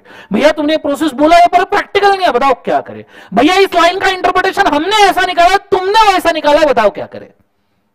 कंसेप्ट समझ में आ रहा है सबको? तो गो टू डिपार्टमेंट डिपार्टमेंट के पास आते हैं तीन पावर्स पहला नोटिफिकेशन ये विजय सर ने बताया होगा ना? दूसरा सर्कुलर्स और तीसरा क्या है गाइस रूल्स तीसरा क्या है? Rule notification are changes changes can be addition deletion multiplication कुछ भी हो सकता है। लॉ से कुछ उड़ा देना है तो भी नोटिफिकेशन है ऐड करना है तो भी नोटिफिकेशन है रिप्लेस करना है तो भी नोटिफिकेशन है। Clear is a changes what is circular circulars are clarification circulars are क्या एक बात से? क्लैरिफिकेशन एक दिन तुम्हारा पेट दुख रहा है। बहुत ज़ोर से पेट दुख रहा है। ठीक है? इसका पेट दुख रहा है। नाम बोल भाई। आयुष। आयुष का एक दिन बहुत पेट दुख रहा था। आयुष एक डॉक्टर के पास गया। डॉक्टर को पूछा, सर, मेरा बहुत पेट दुखा मैंने क्या करूँ? डॉक्टर ने बोला, acidity. Ayush second opinion necessary in India है ना? एक डॉक्टर के भरोसे पे नहीं बैठ सकते। आयुष गया दूसरे डॉक्टर के पास में। उसको सर, बहुत पेट दुख रहा है बहुत। दूसरा डॉक्टर, तुमको हो गया जो नहीं होना चाहिए था। पात्र घटना है काल्पनिक हाँ? ठीक है। तो ऐसे सिचुएशन में दो पीना ना आयुष कंफ्यूज अब क्या करूँ? तीसरे डॉक्टर के पास, तीसरा, तुमको अपेंडिक्स हो गया। एक बीमारी, चार इलाज। और चारों इलाज अलग अलग इंटरप्रिटेशन के। ऐसा अगर लॉ में हुआ, एक लाइन चार इंटरप्रिटेशन तो डिपार्टमेंट को आना पड़ेगा ना भाई। तो सर्कुलर लेके आते हैं, भैया, इस लाइन का मतलब ये है, ये छोड़ के कुछ और मत मानना। आइडिया क्लियर है? That is circular idea clear है? नेक्स्ट वाला rules what is rules rules is a process एक आई होप सो तुमने बहुत बड़ी चीज़ I don't hope so I hope so negatively positively I don't hope so पर negatively ये चीज़ हुई हो सकती है शायद तुम्हारे केस में। एक बहुत बड़ा पैरामीटर तुमने मिस किया जा सकता, किया होगा ई फॉर्म्स कंपनीज़ एक्ट के ई फॉर्म्स सभी ई फॉर्म्स ये रूल्स में लिखे जाते हैं। कोई भी प्रोसेसिंग के फॉर्म्स है, वो रूल्स में लिखे जाते हैं। सेक्शन तो हम याद करेंगे ही। हम ई फॉर्म्स भी याद करेंगे। ये चीज़ को याद रखना। ठीक है? नहीं याद आएँगे तो अपने पास बहुत अच्छी टेक्निक्स है। जो बहुत अच्छे से काम करती है, ठीक है? रेडी हो जाइएगा। तो डिपार्टमेंट ने क्या कह दिया, बोले एक बार? नोटिफिकेशन दूसरा क्या? सर्कुलर्स तीसरा क्या? रूल फिर भी तुम्हारी दिक्कत नहीं मिटी। दिक्कत अभी भी दिक्कत ही है। फिर भी you still have problems and disputes problem and का बाजू से? डिस्प्यूट अगर तुमको फिर भी प्रॉब्लम है जीवन में, अगर तुमको फिर भी शांति नहीं है तो फिर भाई तुम एंड में एक ही जगह जा सकते हो। सुप्रीम कोर्ट हाई कोर्ट एक बात याद रखना सुप्रीम कोर्ट हाई कोर्ट सिर्फ़ क्वेश्चन ऑफ़ लॉ एंटरटेन करते हैं। Supreme court high court question of fact entertain नहीं करते। सर, सुनने में बहुत अच्छा लगा हमें। पर यह है क्या? What is question on law what is question of fact पहली बार जीवन में ऐसा क्वेश्चन पढ़ रहे जिसके बारे में हमें क्वेश्चन है। So tell me what is question of law and question of fact anyone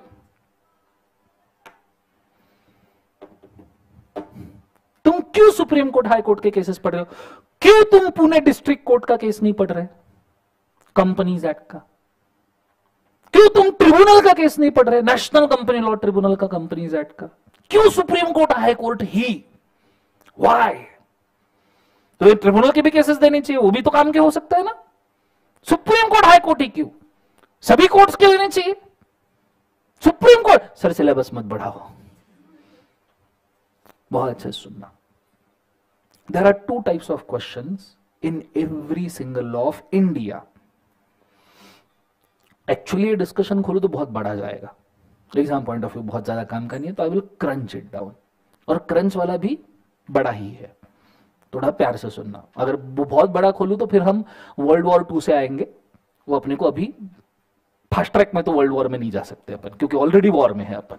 ठीक है? ऐसा समझ लो ब्रीफ में, जिन कंट्रीज़ को ब्रिटिशर्स ने रूल किया, और ब्रिटिशर्स के जो कंट्रीज़ दोस्त है, जैसे US British US European countries NATO एक साइड और दूसरे साइड जर्मनी जापान हिटलर वाले। वर्ल्ड वॉर टू इनमें हुआ था ना? तो जो ब्रिटिशर्स वाले और फ्रेंडली कंट्रीज़ है, उनमें एक लीगल सिस्टम चलता है। और जो नेटो वगैरह वाले जो है नाटो नहीं सॉरी जो जापान और जर्मनी वाले हैं, उनके यहाँ दूसरा लीगल सिस्टम चलता है। हमारे यहाँ जो लीगल सिस्टम चलता है अब इसमें बहुत सारे परमुटेशन वगैरह बाद में हमारे यहाँ जो लीगल सिस्टम चलता है वॉट इट सेज कि एवरी डिस्प्यूट हर चीज़ जो कोर्ट के पास जाती है, वो दो पार्ट में डिवाइड होती है। One is called as question of fact one is called as question of law what is question of fact let's take an example कि भाई, मैं नाम बोलो से, आया। ठीक है? आयुष ना आया। हम्म। पात्र और घटना काल्पनिक, वास्तविक जीवन से कोई संबंध यदि किसी घटना के साथ समानता होती है, मात्र संयोग कहा जाएगा? ठीक है? आपका नाम बोलो? चैत्या। ठीक है? सेम डू ठीक है? सो आया ने चैत्या के साथ कॉन्ट्रैक्ट किया कि आया लेट्स टेक दिस किसने? आया ने। किसके साथ कॉन्ट्रैक्ट किया? चैत्या के साथ कॉन्ट्रैक्ट किया कि आया चैत्या से 24 कैरेट गोल्ड परचेस करेगा। इसलिए आया ने चैत्या को रुपए पाँच लाख का चेक दिया ठीक जब ये 24 कैरेट गोल्ड आया तो आया को तो दिखा कि ये तो 18 कैरेट ही है, ये तो 24 कैरेट है ही नहीं। तो आया ने चैता के ऊपर केस कर दिया। ये तुम क्यों सुन रहे हो? क्योंकि तो मैं सुना रहा हूँ इसलिए। तो मैं कुछ भी फेरी टेल सुनाऊँगा सिंड्रेला ने जूते को चुमा, या मेंढक को चुमा, और उसका राजा बन गया। तो सुनोगे तुम जीवन में? ये मैं सुना रहा हूँ इस तरह व्हाट आई मीन टू से ये केस का तुमसे कोई रिलेवेंस है। ऐसा है क्या कि ये केस सुनने के वजह तुमको एक एक ग्राम गोल्ड मिलेगा? नहीं? अच्छा ये केस में जो भी डिसीज़न आएगा, इससे तुम्हारे ऊपर कोई असर होने वाला है? This will only affect Aaya and Chaitya. Primary तुमको केस में लग रहा होगा, चैत्या का गलती अठारह कैरेट गोल्ड दिया। यू नेवर नो आया की वेइंग मशीन ही खराब हो। यू नेवर नो आया ने जो चेक दिया, वही बाउंस हो गया हो। फैक्ट कैन बी डिस्टॉर्टिंग पर इससे तुम्हारा कोई लेना देना नहीं है। जो भी डिसीज़न आए, दो पार्टी सफ़र करेगी, उनका प्रॉब्लम वो कुछ भी करे। हमारे से कोई लेना देना। Question of fact main decision of the case affect only to the parties of the contract is a question of fact is it clear यहाँ तक? के ज़ोर से बोलो हाँ आया ना? ना tell you question of law question of fact only affect parties to contract parties तो क्या लिखवा जो से contract question of law is nothing but a question of fact बहुत प्यार से सुनना। नहीं तो गियो। Question of law is nothing but a question of fact which affects entire public question of law भी क्वेश्चन ऑफ़ फैक्ट ही है। क्योंकि कहीं किसी फैक्ट में दिक्कत आई तो वो कोर्ट के पास आया, पर इसका डिसीज़न साला पूरे देश के ऊपर असर करेगा। कहीं कोई डिस्प्यूट मिला, वो कोर्ट के पास आया, पर कोर्ट ने बताने के पहले भी सोचा कि साला मैं कोई बोलूँगा ना तो पूरा देश मानेगा इसको। हो गया question of law for example little little example Gokulashtami, पता है गोकुलाष्टमी? गोकुलाष्टमी महाराष्ट्र में बहुत फ़ेमस है फेस्टिवल उधर भी बहुत ज़्यादा फ़ेमस है कृष्ण जी जहाँ पे पैदा हुए। ठीक है? गोकुलाष्टमी में दही हंडी होती है। और दही हंडी फोड़ने के लिए हम पिरामिड्स बनाते हैं। मनोरे। हाँ है ना? और पिरामिड्स में नॉर्मली देखा होगा टॉप का जो बंदा होता है, वो एकदम पतला सा, हल्का सा, छोटा सा बच्चा होता है कि जिसको किधर भी उठा के सफल किया जा सके। हाँ है ना? एक केस हो गया मुंबई में। गोकुल अष्टमी में एक मित्र मंडल था। मित्र मंडल ने मनोरे बनाए। मनोरे के ऊपर एक छोटा बच्चा था, आठवीं, नौवीं, दसवीं क्लास का होगा। वो चढ़ा, उसने मटकी फोड़ी और मटकी फोड़ने के बाद किस्सा होता है, पूरा पिरामिड गिरता है। ठीक है, अगर सोफिस्टिकेटेडली उतारो तो उतर सकता है, पर वो जोश जोश में पिरामिड गिरता है। पिरामिड टूटा, बच्चा ऊपर से नीचे गिरा परमानेंटली डिसेबल हो गया। बच्चा मित्र मंडल बिलोंग फ्रॉम स्लम एरिया घर वालों के पास पैसे नहीं थे झोपड़पट्टी के लोग थे। गरीब लोग थे, हाथ के ऊपर पेट था, पैसा नहीं था। बच्चे को कहाँ से भैया, कहाँ मेडिकल ट्रीटमेंट देंगे वो? घर वालों के पास पैसा नहीं। घर वाले रोते गए मित्र मंडल के पास कि भैया आपके एक्टिविटी में इन्वॉल्व होने की वजह से हमारा बच्चा परमानेंटली डिसेबल हो गया। पैसा दो। मेडिकल ट्रीटमेंट का मित्र मंडल भी तो झोपड़पट्टी से ही था। वो बोले, हमारे पास भी तो पैसा नहीं, हम क्या करें? घर वालों को गुस्सा आ गया, बोले, ये नहीं चलेगा।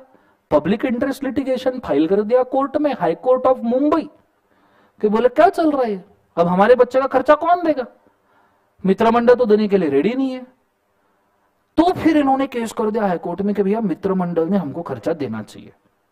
हाईकोर्ट में जज जब बैठा था मित्र मंडल का रिप्रेजेंटेटिव सामने आया, लॉयर, और मित्र मंडल के लॉयर ने क्या बोला होगा? मित्र मंडल के लॉयर ने जज को बोला, जज साहब, ये बोल रहे कि इनका बच्चा माइनर है और वो हमारे एक्टिविटीज़ में इन्वॉल्व हुआ, इसलिए हमने उनको मेडिकल का खर्चा देना चाहिए।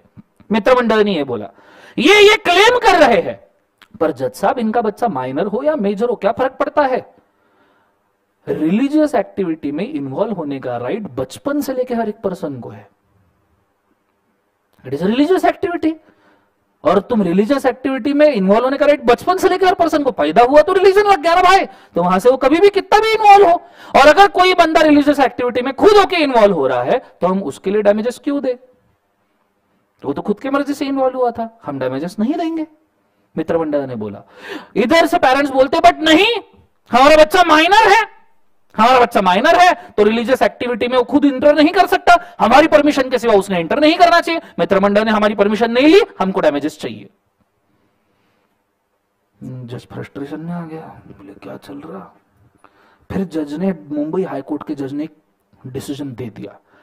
बोले none of the minor person shall get involve in the religious activity unless and until the permission is taken from guardian बोले, कोई माइनर पर्सन रिलीजियस एक्टिविटी में इन्वॉल्व नहीं होगा जब तक गार्डियन का परमिशन ना आए.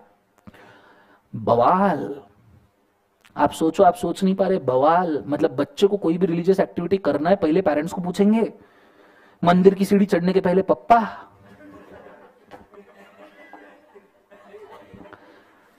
इधर फटाका फोड़ना है, दिवाली का।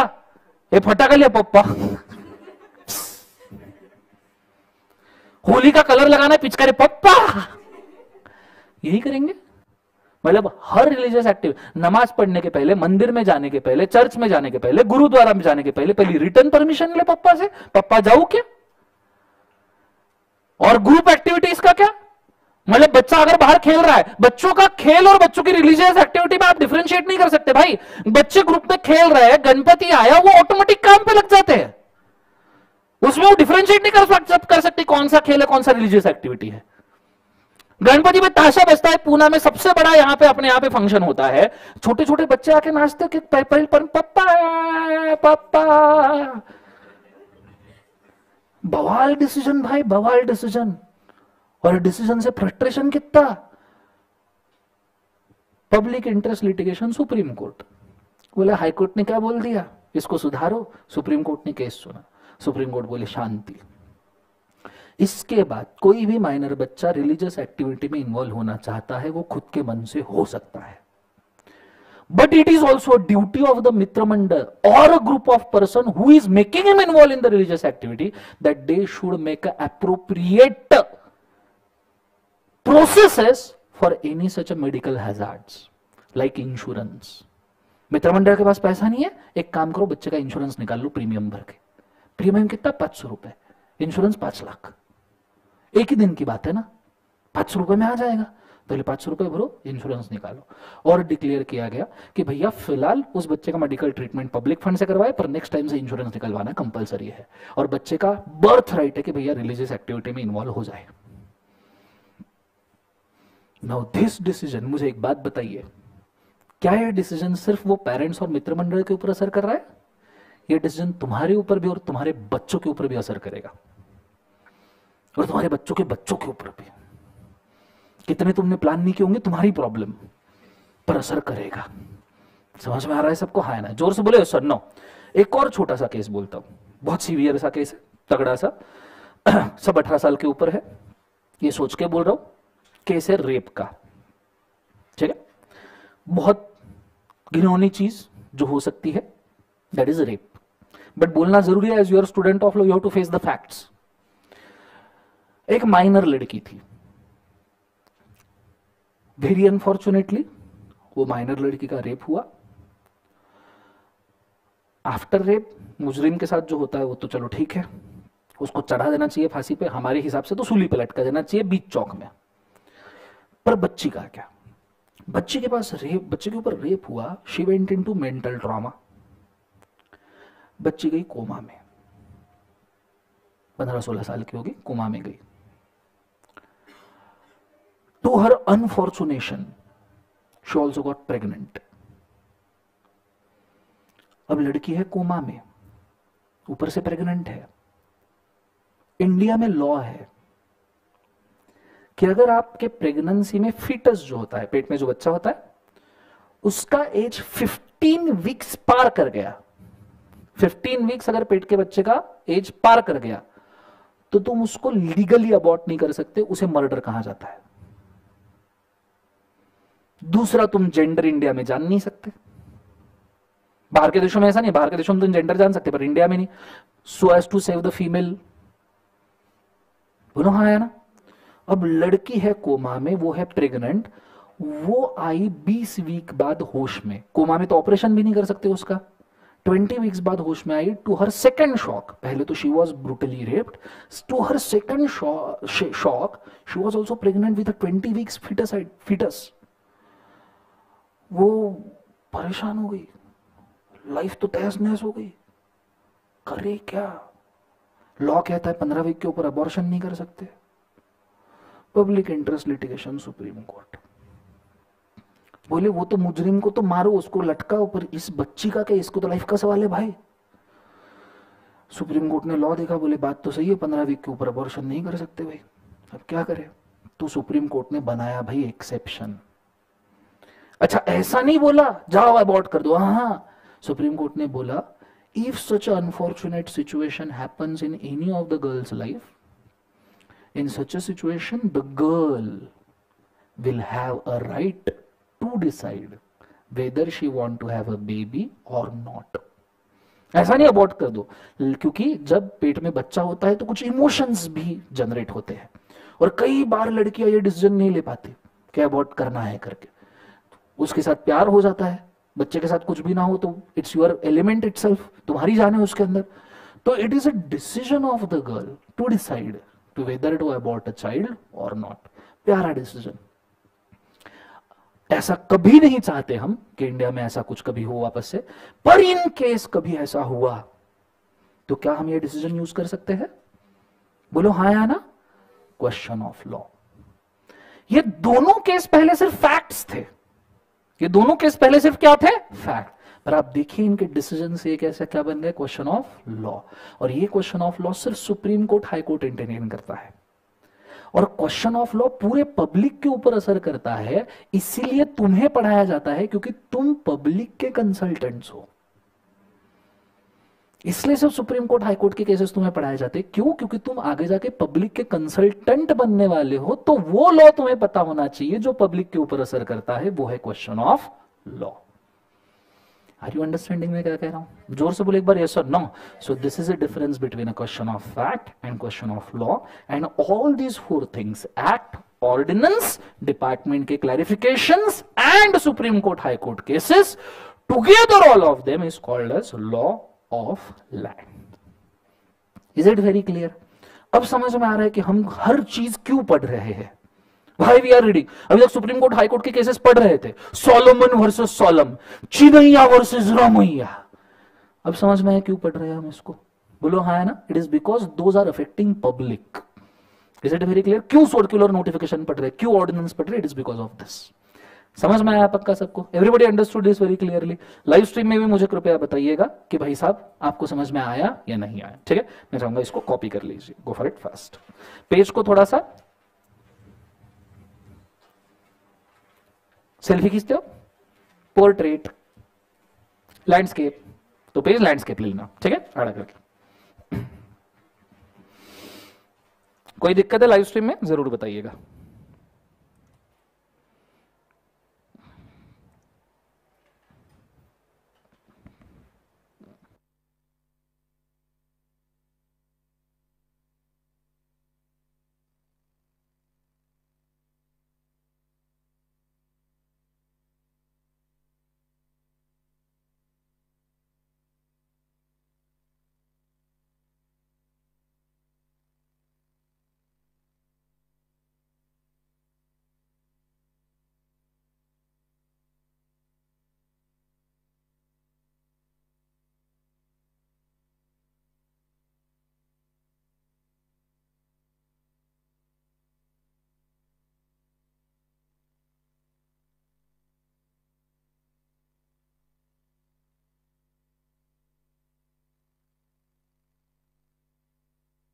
श्रीलंका की हालत खराब है, ये भी पता है ना आपको? श्रीलंका के उन्होंने वाटर कैनॉन फायर किए, श्रीलंकन प्रोटेस्टर्स के ऊपर। तो सभी प्रोटेस्टर्स शैम्पू लेके आए थे। इन्होंने वाटर कैनॉन फायर किए, वो शैम्पू लगाने बैठ गए सबके सब। जस्ट इमेजिन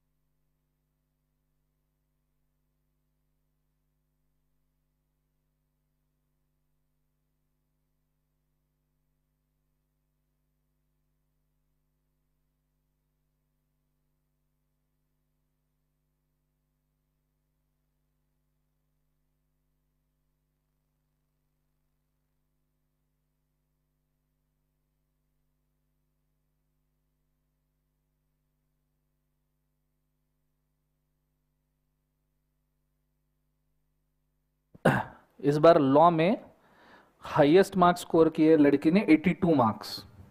ठीक है तो इफ़ पॉसिबल मैंने उसको रिक्वेस्ट तो किया है कि तेरा आंसर शीट मुझे चाहिए पर आंसर शीट मांगने के लिए रिटोटलिंग करना पड़ता है सो so, थोड़ा सा डर है उसको। बट अगर मिल गया तो I will show you even I will show you of the finals also final के बच्चे भी आंसर राइटिंग जो करते हैं वो भी अगर मेरे पास आंसर शीट आए तो मैं बताऊँगा सिर्फ़ वो बुलाए दैट इज़ द थिंग ठीक है? तो 82 मार्क्स है। आई गेस उससे ज़्यादा भी हो सकते हैं।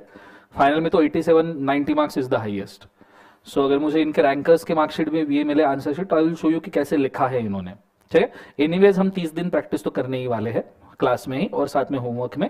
तो उसमें सॉल्व हो जाएगा मैक्सिमम बट एक बार आपको पता होना चाहिए कि आंसर कैसे लिखे। बिकॉज़ ये तीस दिन में हम क्या पढ़ रहे हैं, उसका फ़ायदा तभी है जब आखिरी तीन घंटे आपके मैनेज हो रहे हो। And answer sheets will justify कि आपके तीन घंटे आखिरी आप मैनेज कैसे कर रहे हो। दैट इज़ मोर इंपॉर्टेंट ठीक है?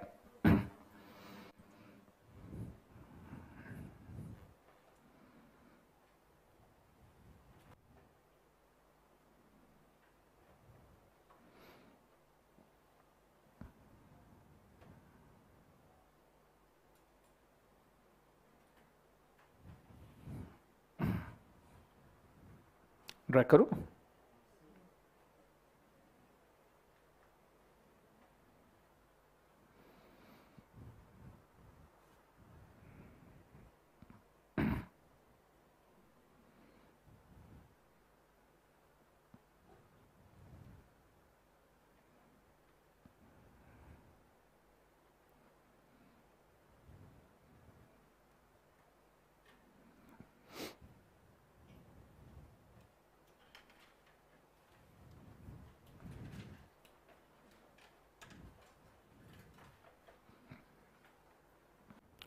Done everybody?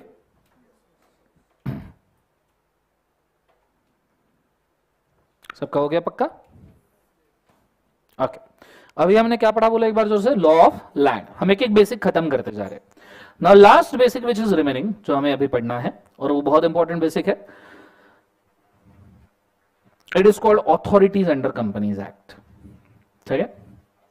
तुमने इसके पहले कंपनीज़ एक्ट पढ़ा होगा ऑफकोर्स आरओसी सुना है? What is ROC register long form नहीं पूछा रे मैंने। I am asking you ROC कौन से टाइप का अथॉरिटी है?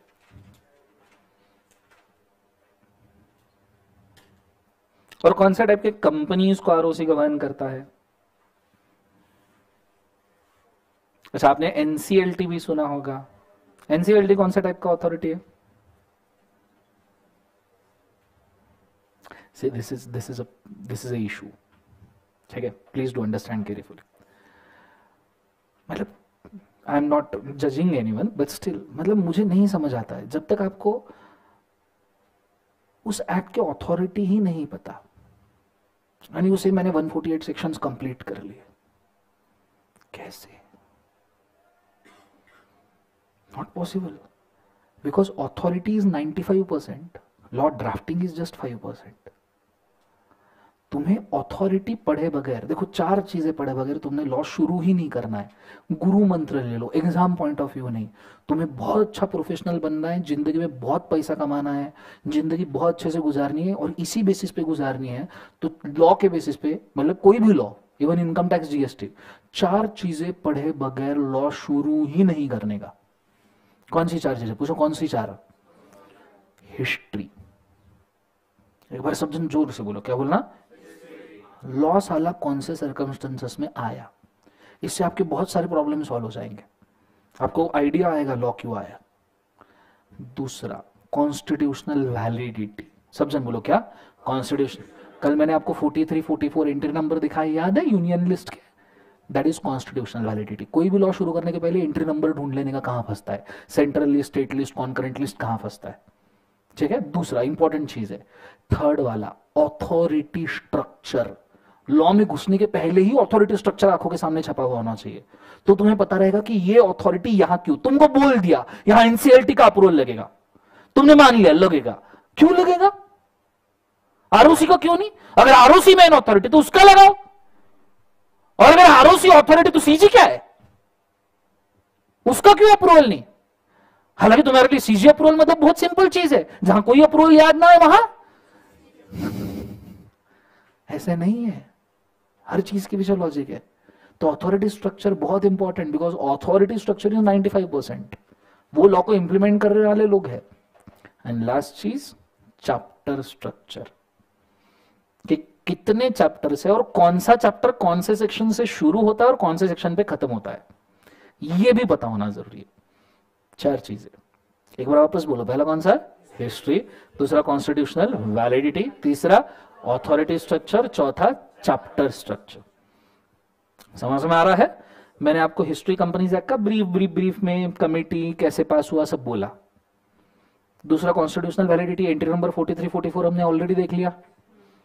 Now we are at authority structure और हमारा ये होने के बाद नेक्स्ट टारगेट क्या रहेगा? चैप्टर स्ट्रक्चर क्लियर है? चैप्टर स्ट्रक्चर एक बार हाथ में आ गया ना तो तुमको ऐसा लॉ के ऊपर खुद का ऐसे हैंड लगेगा। दस के दस चैप्टर अगर तुमको स्टार्टिंग एंडिंग सेक्शन के साथ याद हो गए तो तुमको घुमाना आसान हो जाएगा। क्लियर है महाराष्ट्र राज्य का मैप पता हो और कौन से जगह पे कौन सा जिला है पता हो तो तुम खुद जान सकते हो कि मैं यहाँ से यहाँ पहले जा सकता हूँ, यहाँ से यहाँ बाद में जा सकता हूँ। Simple that is chapter structure clear है तो अब अथॉरिटी स्ट्रक्चर देखेंगे। अब बहुत गौर से ध्यान देना, बच्चों, ये बहुत काम की चीज़ है, तुम्हें पता होना चाहिए था बट ठीक इट्स ओके पर नेक्स्ट टाइम से whenever you go for this you must remember authority structure कोई भी लॉ शुरू करने के पहले what you should do first is authority structure आ जाइए प्यार से समझेंगे, ठीक है? इसमें आपको आरओसी भी समझेगा एनसीएलटी भी समझेगा, कौन क्यों आया ये भी समझेगा, ठीक है? नमस्ते। क्योंकि हमारे सेंट्रल गवर्नमेंट मिनिस्ट्री कौन सी है? Ministry of corporate affairs who is the chairman of ministry of corporate affairs Nirmala Sitharaman ji, दीदी। सर, आप सबको गालियाँ देते हो पॉलिटिकल पार्टीज़ में, मोदी जी को भी देते हो, पप्पू जी को भी। अपना ऐसा ही काम है ये सब मिलकर हमको पागल बना रहे ठीक है? तो इसलिए अपन सब पार्टी पे भरोसा करते हैं और किसी को वोट नहीं करते। ठीक है let's go so minister of corporate affairs Nirmala Sitharaman ji, और उसको हमने डिवाइड करके रखा है दो पार्ट में। मिनिस्ट्री ऑफ़ कॉर्पोरेट अफेयर्स के नीचे दो पार्ट जब भी आपको कंपनीज़ एक्ट में बोला जाए सीजी अप्रूवल तो एक्चुअल सीजी अप्रूवल नहीं होता, वो होता है एमसीए का अप्रूवल पर हम लिखते वक्त सीजी अप्रूवल ही लिखते हैं। MCA is a part of CG it is ministry thirty five ministries मैंने बोला, उसमें से एमसीए इज़ वन ठीक है? तो सीजी अप्रूवल बोला तो कौन सा अप्रूवल एमसीए ठीक है? ये थोड़ा तुम फाइनल पे जाओगे तो और क्लियर होगा। जब भी सीजी अप्रूवल लिखता है ना, तुमको स्पेसिफिक मिनिस्ट्री आती है। ठीक है? जैसे अगर तुम टेलीकम्युनिकेशन वाला कोई अप्रूवल ले रहे हो तो ministry of information and telecommunication तुम अगर कोई कल्चरल टूर या एजुकेशन का अप्रूवल ले रहे हो तो ministry of human resource development ऐसे अप्रूवल आते हैं। Clear answer ministry of corporate affairs is further divided into two parts one is called as administrative and control authority and second is called as judicial authority administrative control authority मतलब जो administer करेगा control करेगा help करेगा normal processing के अंदर कि भैया company बनानी है, हम हेल्प कर रहे हैं। कंपनी बनने के बाद चलानी है, हम हेल्प कर रहे हैं। Annual return annual account file करने हैं, हम हेल्प कर रहे हैं। कंपनी मिटानी भी है, हम हेल्प कर रहे हैं। पर अगर इस पूरे प्रोसेस में तुमने झगड़ा किया डिस्प्यूट किया तो हेल्प करने के लिए जुडिशियल अथॉरिटी एडमिनिस्ट्रेटिव अथॉरिटी काम करने के लिए। जुडिशियल अथॉरिटी झगड़े मिटाने के लिए। जुडिशियल जजमेंटल जज जज मतलब डिस्प्यूट आइडिया क्लियर है मैं क्या कह रहा हूँ? एडमिनिस्ट्रेटिव अथॉरिटी फर्दर दो पार्ट में डिवाइड होता है। One is regional director second is liquidator regional director के नीचे आता है आरओसी और साइड में लिक्विडेटर सर ऐसा क्यों? एडमिनिस्ट्रेशन में भी क्यों regional director liquidator active companies जो होती है, जो काम करने वाली कंपनीज़ होती है, अभी एक्टिव है। इंडिया में वैसे कितने कंपनीज़ है? इंडिया में 15 lakh thirty thousand plus companies registered है। 15 लाख तीस हज़ार से ज़्यादा। पर वो सभी के सभी काम कर रही है क्या? नहीं, कुछ लिक्विडेशन में होगी। ऐसा कहा जाता है? नॉट ए एग्जैक्ट नंबर पर 15 लाख तीस हज़ार में से कहा जाता है? डेढ़ से दो lakh company at this point of time एक तो बैंक पे होगी, नहीं तो लिक्विडेशन में होगी। तो उन कंपनीज़ को तो अलग रेगुलेशन लगनी चाहिए ना। उनको अलग लोगों ने देखना चाहिए। सो जो डॉर्मेंट या लिक्विडेटिंग कंपनीज़ होती है, उनके लिए होता है liquidator these are non active कहेंगे हम। कौन सा बोले एक बाजू से? नॉन एक्टिव तो आपने देखा ना, कई जगह पे आपको लिक्विडेटर का अप्रूवल होगा। स्पेसिफिकली इन चार्जेस वाला चैप्टर वहाँ आपको लिक्विडेटर रिसीवर का ज़्यादा रेफरेंस है। क्लियर है? आप ये इंटर पे फाइनल पे जब आप जाओगे वाइंडिंग अप वगैरह चैप्टर तो वहाँ तो पूरा लिक्विडेटर है आरओसी को कोई पूछता भी नहीं है। कंसेप्ट समझ में आ रहा है मैं क्या कह रहा हूँ? ये चीज़। अब इंडिया में रीजनल डायरेक्टर से बच्चों सेवन ये सेवन रीजनल डायरेक्टर मेन है, इनके नीचे आते हैं ROCs registrar of companies regional director साथ है तो ये चार पाँच आरओसी का रिपोर्टिंग लेते हैं, चार पाँच आरओसी को गवर्न करते हैं। और आरओसीज एक्चुअली कंपनी से कनेक्ट करती है एडमिनिस्ट्रेशन लेवल पे। इंडिया में if I am not wrong you can also tell there are twenty five ROCs 25 ROCs है। नॉर्मली आंध्र प्रदेश तेलंगाना सेपरेट होने की वजह से जम्मू कश्मीर यूनियन टेरिटोरीज बनने की वजह से आरओसी का नंबर अभी अभी पड़ा है, पहले ट्वेंटी 22 आरओसीज हुआ करते थे। ठीक है? अभी एक दो साल में आई फाइव नॉट रॉन्ग, चौबीस या पच्चीस है। We will just tell it not issue liquidator का नंबर वेरिएबल है, क्योंकि लिक्विडेटर्स जो है ना, ये कमीशन बेसिस पे काम करते हैं फ़ीस बेसिस पे। तो जो अच्छा सर्विस अच्छा फ़ीस देगा, वो लिक्विडेटर गवर्नमेंट डिक्लेयर कर देगा। गवर्नमेंट इनको ऑफिशियल लिक्विडेटर कहता है। जो गवर्नमेंट ने डिक्लेयर किया हुआ लिक्विडेटर उसको ऑफिशियल कहते हैं। और आपको पता है लिक्विडेटर कौन बन सकता है? हम लोग। शीए शीए शीए में हम लोग सीए बनने के बाद इंसॉल्वेंसी बैंकरप्सी कोड की एक एग्ज़ाम दे दे तो हम लिक्विडेटर बन सकते हैं। और आपको बताऊँ एक्टिव कंपनीज़ के प्रैक्टिस से ज़्यादा लिक्विडेशन कंपनीज़ का प्रैक्टिस बहुत बड़ा है। पूछो कैसे? सुनना चाहोगे एक मिनट के लिए? इंडिया का रिव्यू लेना हर साल एक लाख कंपनीज़ रजिस्टर होती है। एवरी ईयर एक लाख। एवरेज हम 75 ईयर्स से इंडिपेंडेंट है। चलो 1956 कंपनीज़ एक्ट था हमारा तो हम 70 ईयर्स से इंडिपेंडेंट है राइट 70 लाख कंपनीज़ रजिस्टर हुई होगी। एग्जिस्ट कितनी कर रही है? पंद्रह लाख, तीस हज़ार। मतलब पचपन लाख कंपनीज़ लिक्विडेट हो गई है। तो बिज़नेस काय में है? लिक्विडेशन में। लोग बनेंगे नहीं active company beautiful company big मिटाना, बंद करवाना। This is a business are you understanding तुम एखादी मस्त पचास करोड़ के नेटवर्थ वाली कंपनी लिक्विडेट करो, दो तीन परसेंट अंदर। पर ये रिस्की भी है। क्योंकि कंपनी लिक्विडेट हो रही है। वो खुद के पैसे नहीं दे पा रही। तुम्हारे कहाँ से? ठीक है?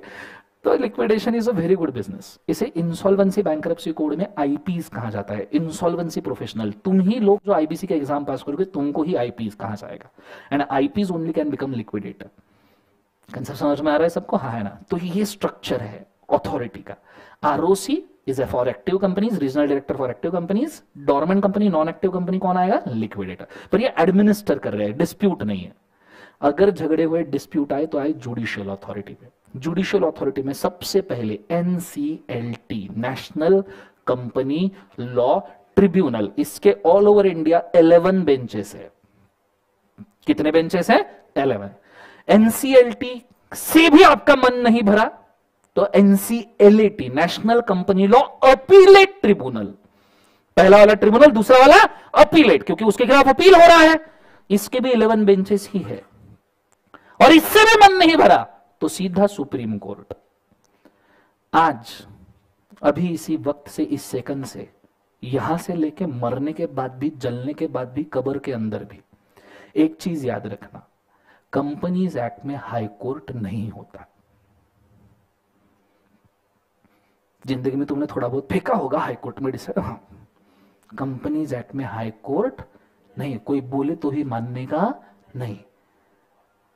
ये तुम्हारे जहन में रग रग में घुले जाने वाली चीज़ है। कुछ चीज़ें ऐसी है जो मैं बर्दाश्त ही नहीं कर सकता, मैं पर्सनल लेवल पे। और जिसको कंपनी लॉ अच्छे से मालूम है, वो पर्सनल लेवल पे बिल्कुल बर्दाश्त नहीं कर सकता, जैसे कंपनी एक्ट में हाई कोर्ट बोलना। इसके बाद जीवन में तुमने कभी तीस दिन में बोला, मैं वही गोली मार देगा। समझ में आया? मरने के बाद भी, जलने के बाद भी, कबर के अंदर भी। फिर मरने के बाद तुम कबर के अंदर हो, मैं कभी आया तुम्हारे कबर पे, ऐसे उठे, उठ। मिट्टी विट्टी उठा के मैं पूछूँगा, कंपनी एक्ट में तुमने बोलना हाईकोर्ट नहीं होता, वापस सो जाना मिट्टी में डालेगा बहुत ज़्यादा आंसर पसंद आया तो साइड में आके भी सोएगा। समझ में आ रहा है मैं क्या कह रहा हूँ? ज़ोर से बोले एक बार यस और नो तो कंपनीज़ एक्ट में हाई कोर्ट नहीं होता। पर ये चीज़ तुमको समझ में नहीं आएगी, क्योंकि तुम तो गजनी हो ना। क्योंकि गजनी को भी पंद्रह मिनट याद रहता है, तुम्हारा तो वो भी मानता है। बोलो ना आया ना तो एक मस्त प्रोसेस अपने क्लास में होता है। पूछो कौन सा? इस चीज़ को ना, इस एक ही सेंटेंस को, जो ऐसे सेंटेंस होते, बहुत काम के होते हैं और जो मैं सह नहीं सकता, जिसमें गलती करना, वो ना अपन 25 बार लिखवाते हैं। वैसे तो 20 ही बार लिखवाते हैं, पर पाँच टॉपअप के, क्योंकि तुमको फास्ट ट्रैक बैच की वजह से घर से लिख के लाना पड़ेगा। ठीक है? तो आज घर पे जाने का first homework of this class companies act में हाई कोर्ट नहीं होता। ये जो कल लिख के नहीं आएगा। हाँ बाहर नहीं, वो क्लास के अंदर ही रहेगा, सिर्फ़ खड़ा रहेगा। समझ में आया? पूरा दो घंटा, ईमानदारी से, जो होमवर्क नहीं करेगा, वो क्लास के अंदर दो घंटा खड़ा रहेगा। कंसेप्ट समझ में आया? क्यों ज़रूरी है? क्यों ये लिखना ज़रूरी है? मुझे एक बात बताओ, ये तुम्हें आज पता चला होगा, बहुत सारे बच्चों को आज पता चला होगा, कंपनीज़ एक्ट में हाईकोर्ट नहीं होता। हालाँकि तुम एग्ज़ाम दे के आए हो। बात की गहराई को समझ रहे हो? ये अभी समय नहीं था ये जानने का, ये तभी था। क्लियर है, ये अभी पता चल रहा है तो एटलीस्ट जब जागो तब सवेरा। तो आज अपने को लिखने का है। समझ में आया पक्का एवरीबडी ऐसी अपने पास दस एक चीज़ें हैं हाँ? तो तुम ढाई सौ लाइन्स तो मान के चलो। ये करना ही पड़ेगा। ऑप्शन नहीं है तुम्हारे पास। मैं नहीं सह सकता, मेरे बच्चे ने जाके किसी को बोला, और कंपनी में हाईकोर्ट का डिसीज़न इधर आ। समझ में आ रहा है मैं क्या कह रहा हूँ? ये चीज़ को याद रखने का। क्लियर कंसेप्ट तो एक बार ज़ोर से बोलो। पूरी ताकत से। कंपनीज़ एक्ट में हाई कोर्ट नहीं होता। बोलो। एक बार ज़ोर और कंपनीज़ एक्ट में हाई कोर्ट नहीं होता, बोलो। लाइव स्ट्रीम वाले मेरे को कमेंट में चाहिए, जिसने कमेंट नहीं किया उसको उसके एक्स की कसम, ठीक है? तुम्हारे लिए जो पैदा हुआ है वो शादी में पहुंचेगा ही नहीं। याद रखना मैं बता रहा हूँ तुमको, ठीक है? कंपनीज़ एक्ट में हाईकोर्ट नहीं होता, मेरे को यहाँ पे कमेंट्स में चाहिए, सब लोगों से। आइडिया क्लियर है? Now this is your judicial authority structure तुम्हारे डिस्प्यूट हुए, ये यहाँ पे सॉल्व किए जाएँगे। क्लियर है? This is called as authority structure administrative problem है there is regional director ROC liquidator judicial problem है there is a NCLT NCLAT supreme court अब तुम्हें यह ज़रूर पता होगा कि जब तुम्हें अप्रूवल बोला होगा एनसीएलटी का मतलब तुम समझ जाना ये डिस्प्यूटेड मैटर हो सकता है। जब तुम्हें आरओसी का बोला, तुम समझ जाना है ये एडमिनिस्ट्रेटिव मैटर है। जब तुमको लिक्विडेटर बोला, समझ जाना है वाइंडिंग अप फाइंडिंग अप वाली कंपनी है नॉन एक्टिव उसको संभालने का काम है। आइडिया क्लियर है? इतना भी बहुत बड़ी चीज़ है। आइडिया क्लियर है मैं क्या कह रहा हूँ? ज़ोर से बोले एक बार यस और no so this authority structure मैं चाहूँगा लिख लीजिए प्लीज़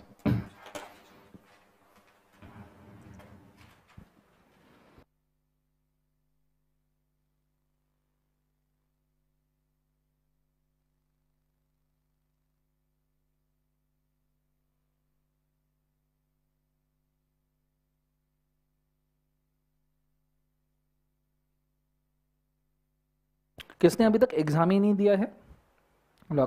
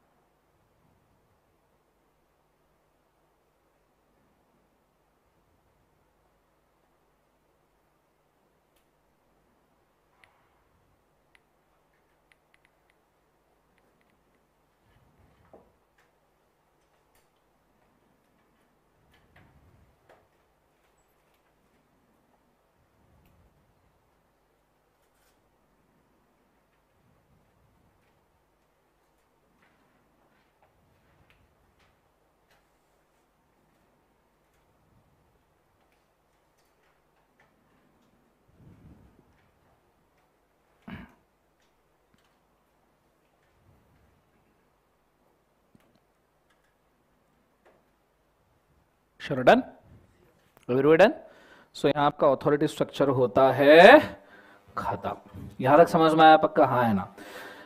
सिंपली मुझे एक बार टैली करने दो। जितने बेसिक मेरे को देने थे, वो मैंने दे दिए क्या? ठीक है? Content wise okay okay Jammu Kashmir का पढ़ा के फ़ायदा है नहीं वैसे चलो फाइन जितना ज़रूरी था उतना तो मैंने दे दिया। सिर्फ़ एक काम करना आप, कल जब आओगे आप उस वक्त, ठीक है? क्योंकि कल अपने को एक थोड़ा सा तगड़ा काम करना पड़ेगा, ठीक है? तुम्हें सेक्शंस नंबर याद करने हैं? I am giving you option right on the first day करने हैं या नहीं करने हैं? कंफर्म 148 सेक्शन याद करने हैं? मैं जो बोलूँगा करोगे? कंफर्म करोगे? बिना सोचे समझे, दिमाग नहीं लगाने का ट्रस्ट द प्रोसेस इसी प्रोसेस के थ्रू हज़ारों बच्चे गए हैं, इसी प्रोसेस के थ्रू तुम भी जा रहे हो। याद होंगे वो मेरी गारंटी पर तुमने क्वेश्चन नहीं करने का। तो कल एक काम करने का। रजिस्टर देना मुझे। ठीक है, अभी तक तुमने बेसिक बेसिक लिखा होगा, पहले पाँच दस पेजेस में, ठीक है? कल से। ये पेज है, ये एक, ये दो, हमारे लिए पूरा एक पेज हमारे लिए पूरा क्या है बोले एक बार उसे? एक पेज।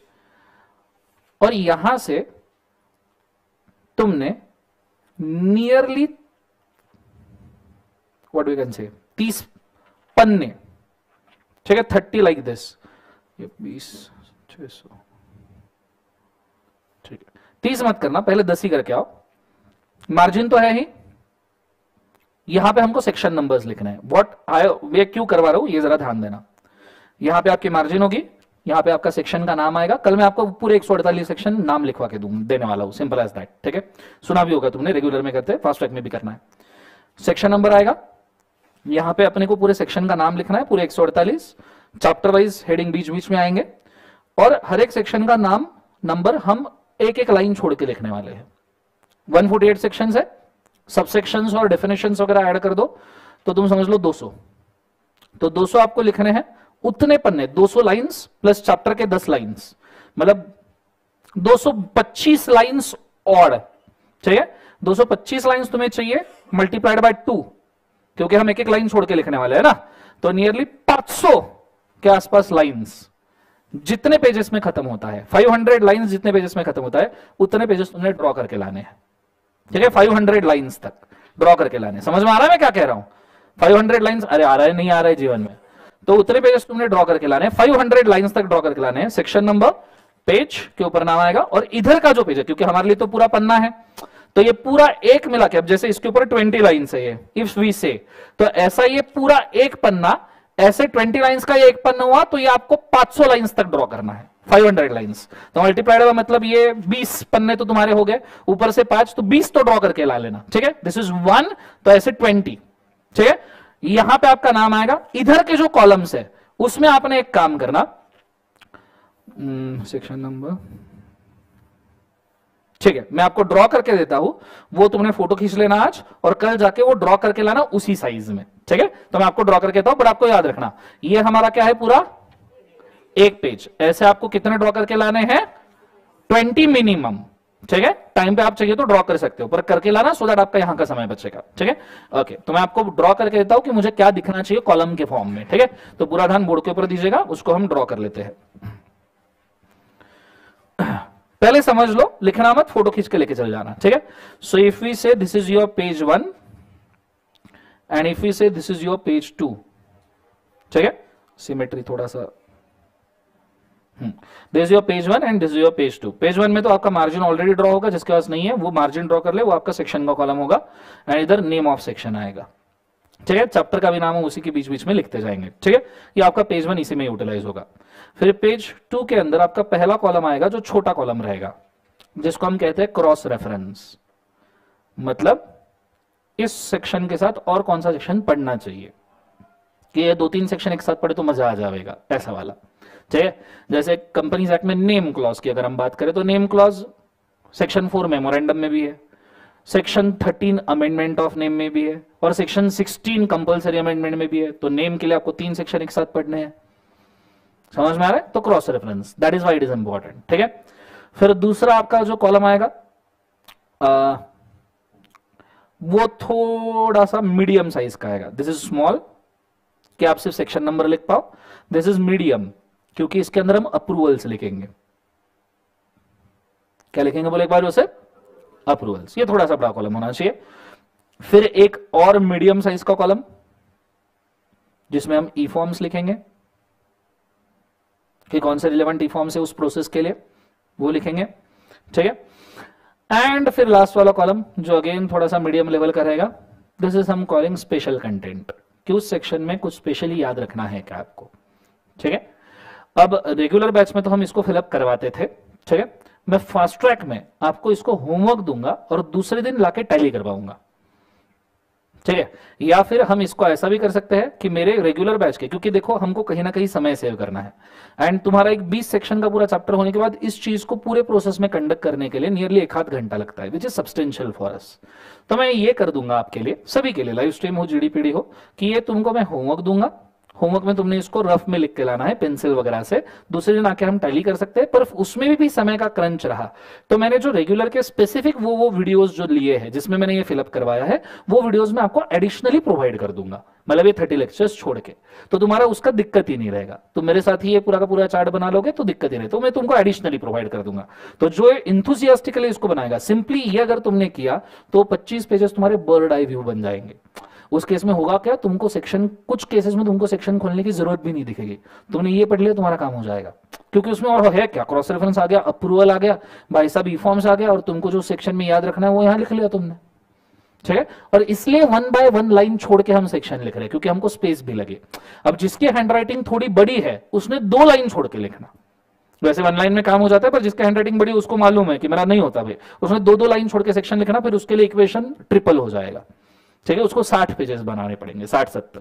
समझ में आ रहा है मैं क्या कह रहा हूँ? ज़ोर से बोले एक बार सुनो everybody is understanding so cash shall we conduct this process बोलो हाँ ना? सो कल ट्वेंटी पन्ने आपको ऐसे बना के लाने कितने बोले एक बार? ट्वेंटी। लगने तो आई ट्वेंटी फाइव वाले हैं, पर ट्वेंटी बना के ला लो, टाइम पे अपन चाहिए तो ड्रॉ कर लेंगे बाद में। ठीक है? ये मेरे को कल चाहिए। कल हम चैप्टर का पूरा लिस्ट याद करेंगे, दस के दस चैप्टर स्टार्टिंग एंडिंग सेक्शन दोनों याद करेंगे, और इस लिस्ट को कल हम सेक्शन और सेक्शन नंबर लिख लेंगे और नाम लिख लेंगे। ये कल ही कंप्लीट नहीं होगा, ये ओवर द पीरियड आपका जैसे जैसे चैप्टर खत्म होगा, वैसे रिवाइज हो ही कंप्लीट हो जाएगा। Is it very clear guys सबको समझ में आया पक्का मैं क्या कह रहा हूँ? अंडरस्टूड प्रॉपरली चले। तो इसका फ़ोटो खींच लीजिए आप चाहिए तो ठीक है? कल ये ड्रॉ करके लाइएगा। Everybody thank you so much बेटा यश। बहुत बढ़िया बेटा, चेतन, अंशुल, शानदार। लाइव स्ट्रीम में कोई दिक्कत है तो पूछ लीजिएगा प्लीज़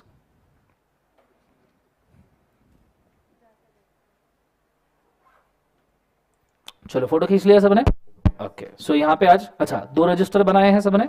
टू कंक्लूड एक कंटेंट रजिस्टर एक क्वेश्चन रजिस्टर कंपलसरी बनाना। नियरली कल से, नहीं तो एक्सम परसों से हमारा आंसर राइटिंग शुरू हो जाएगा।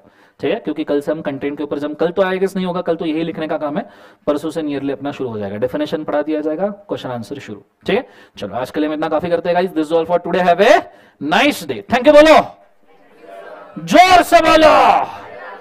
चलो good day God bless you guys take care